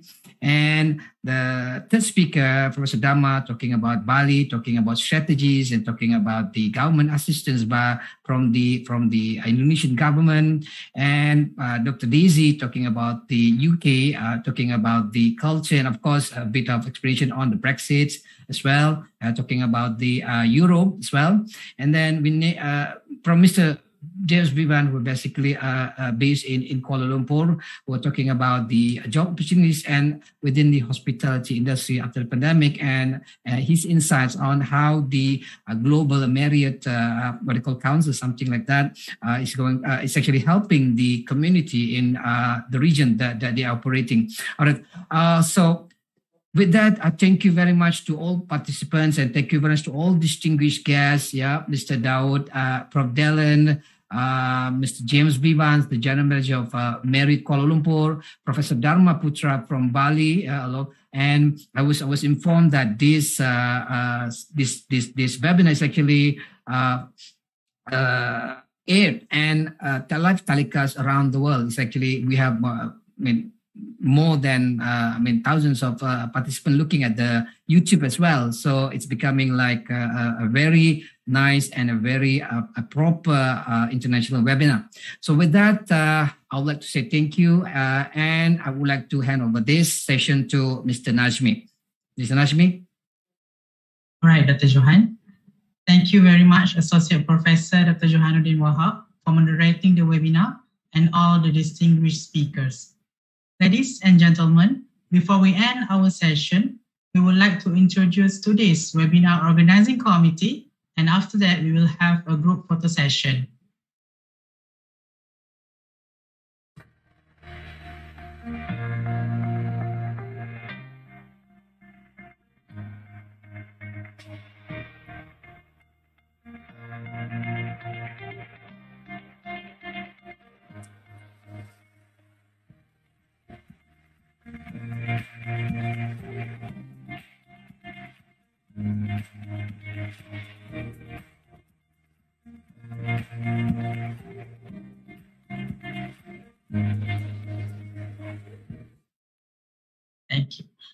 We would like to seek your cooperation to please mm. switch on your cameras to have a group photo together.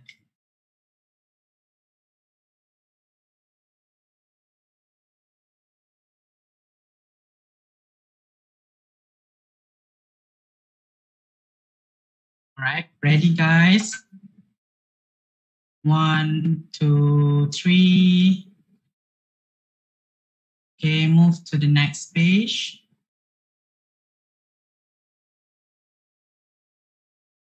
One, two, three.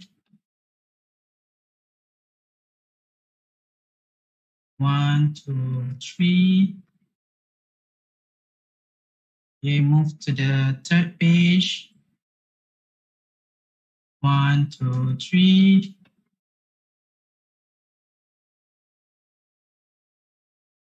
Now we move to the last page. One, two, three.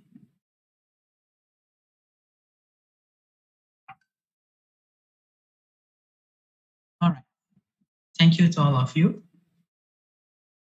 Members of the webinar, we seek your cooperation from all participants to please provide us your feedback. You may scan the QR code on the screen.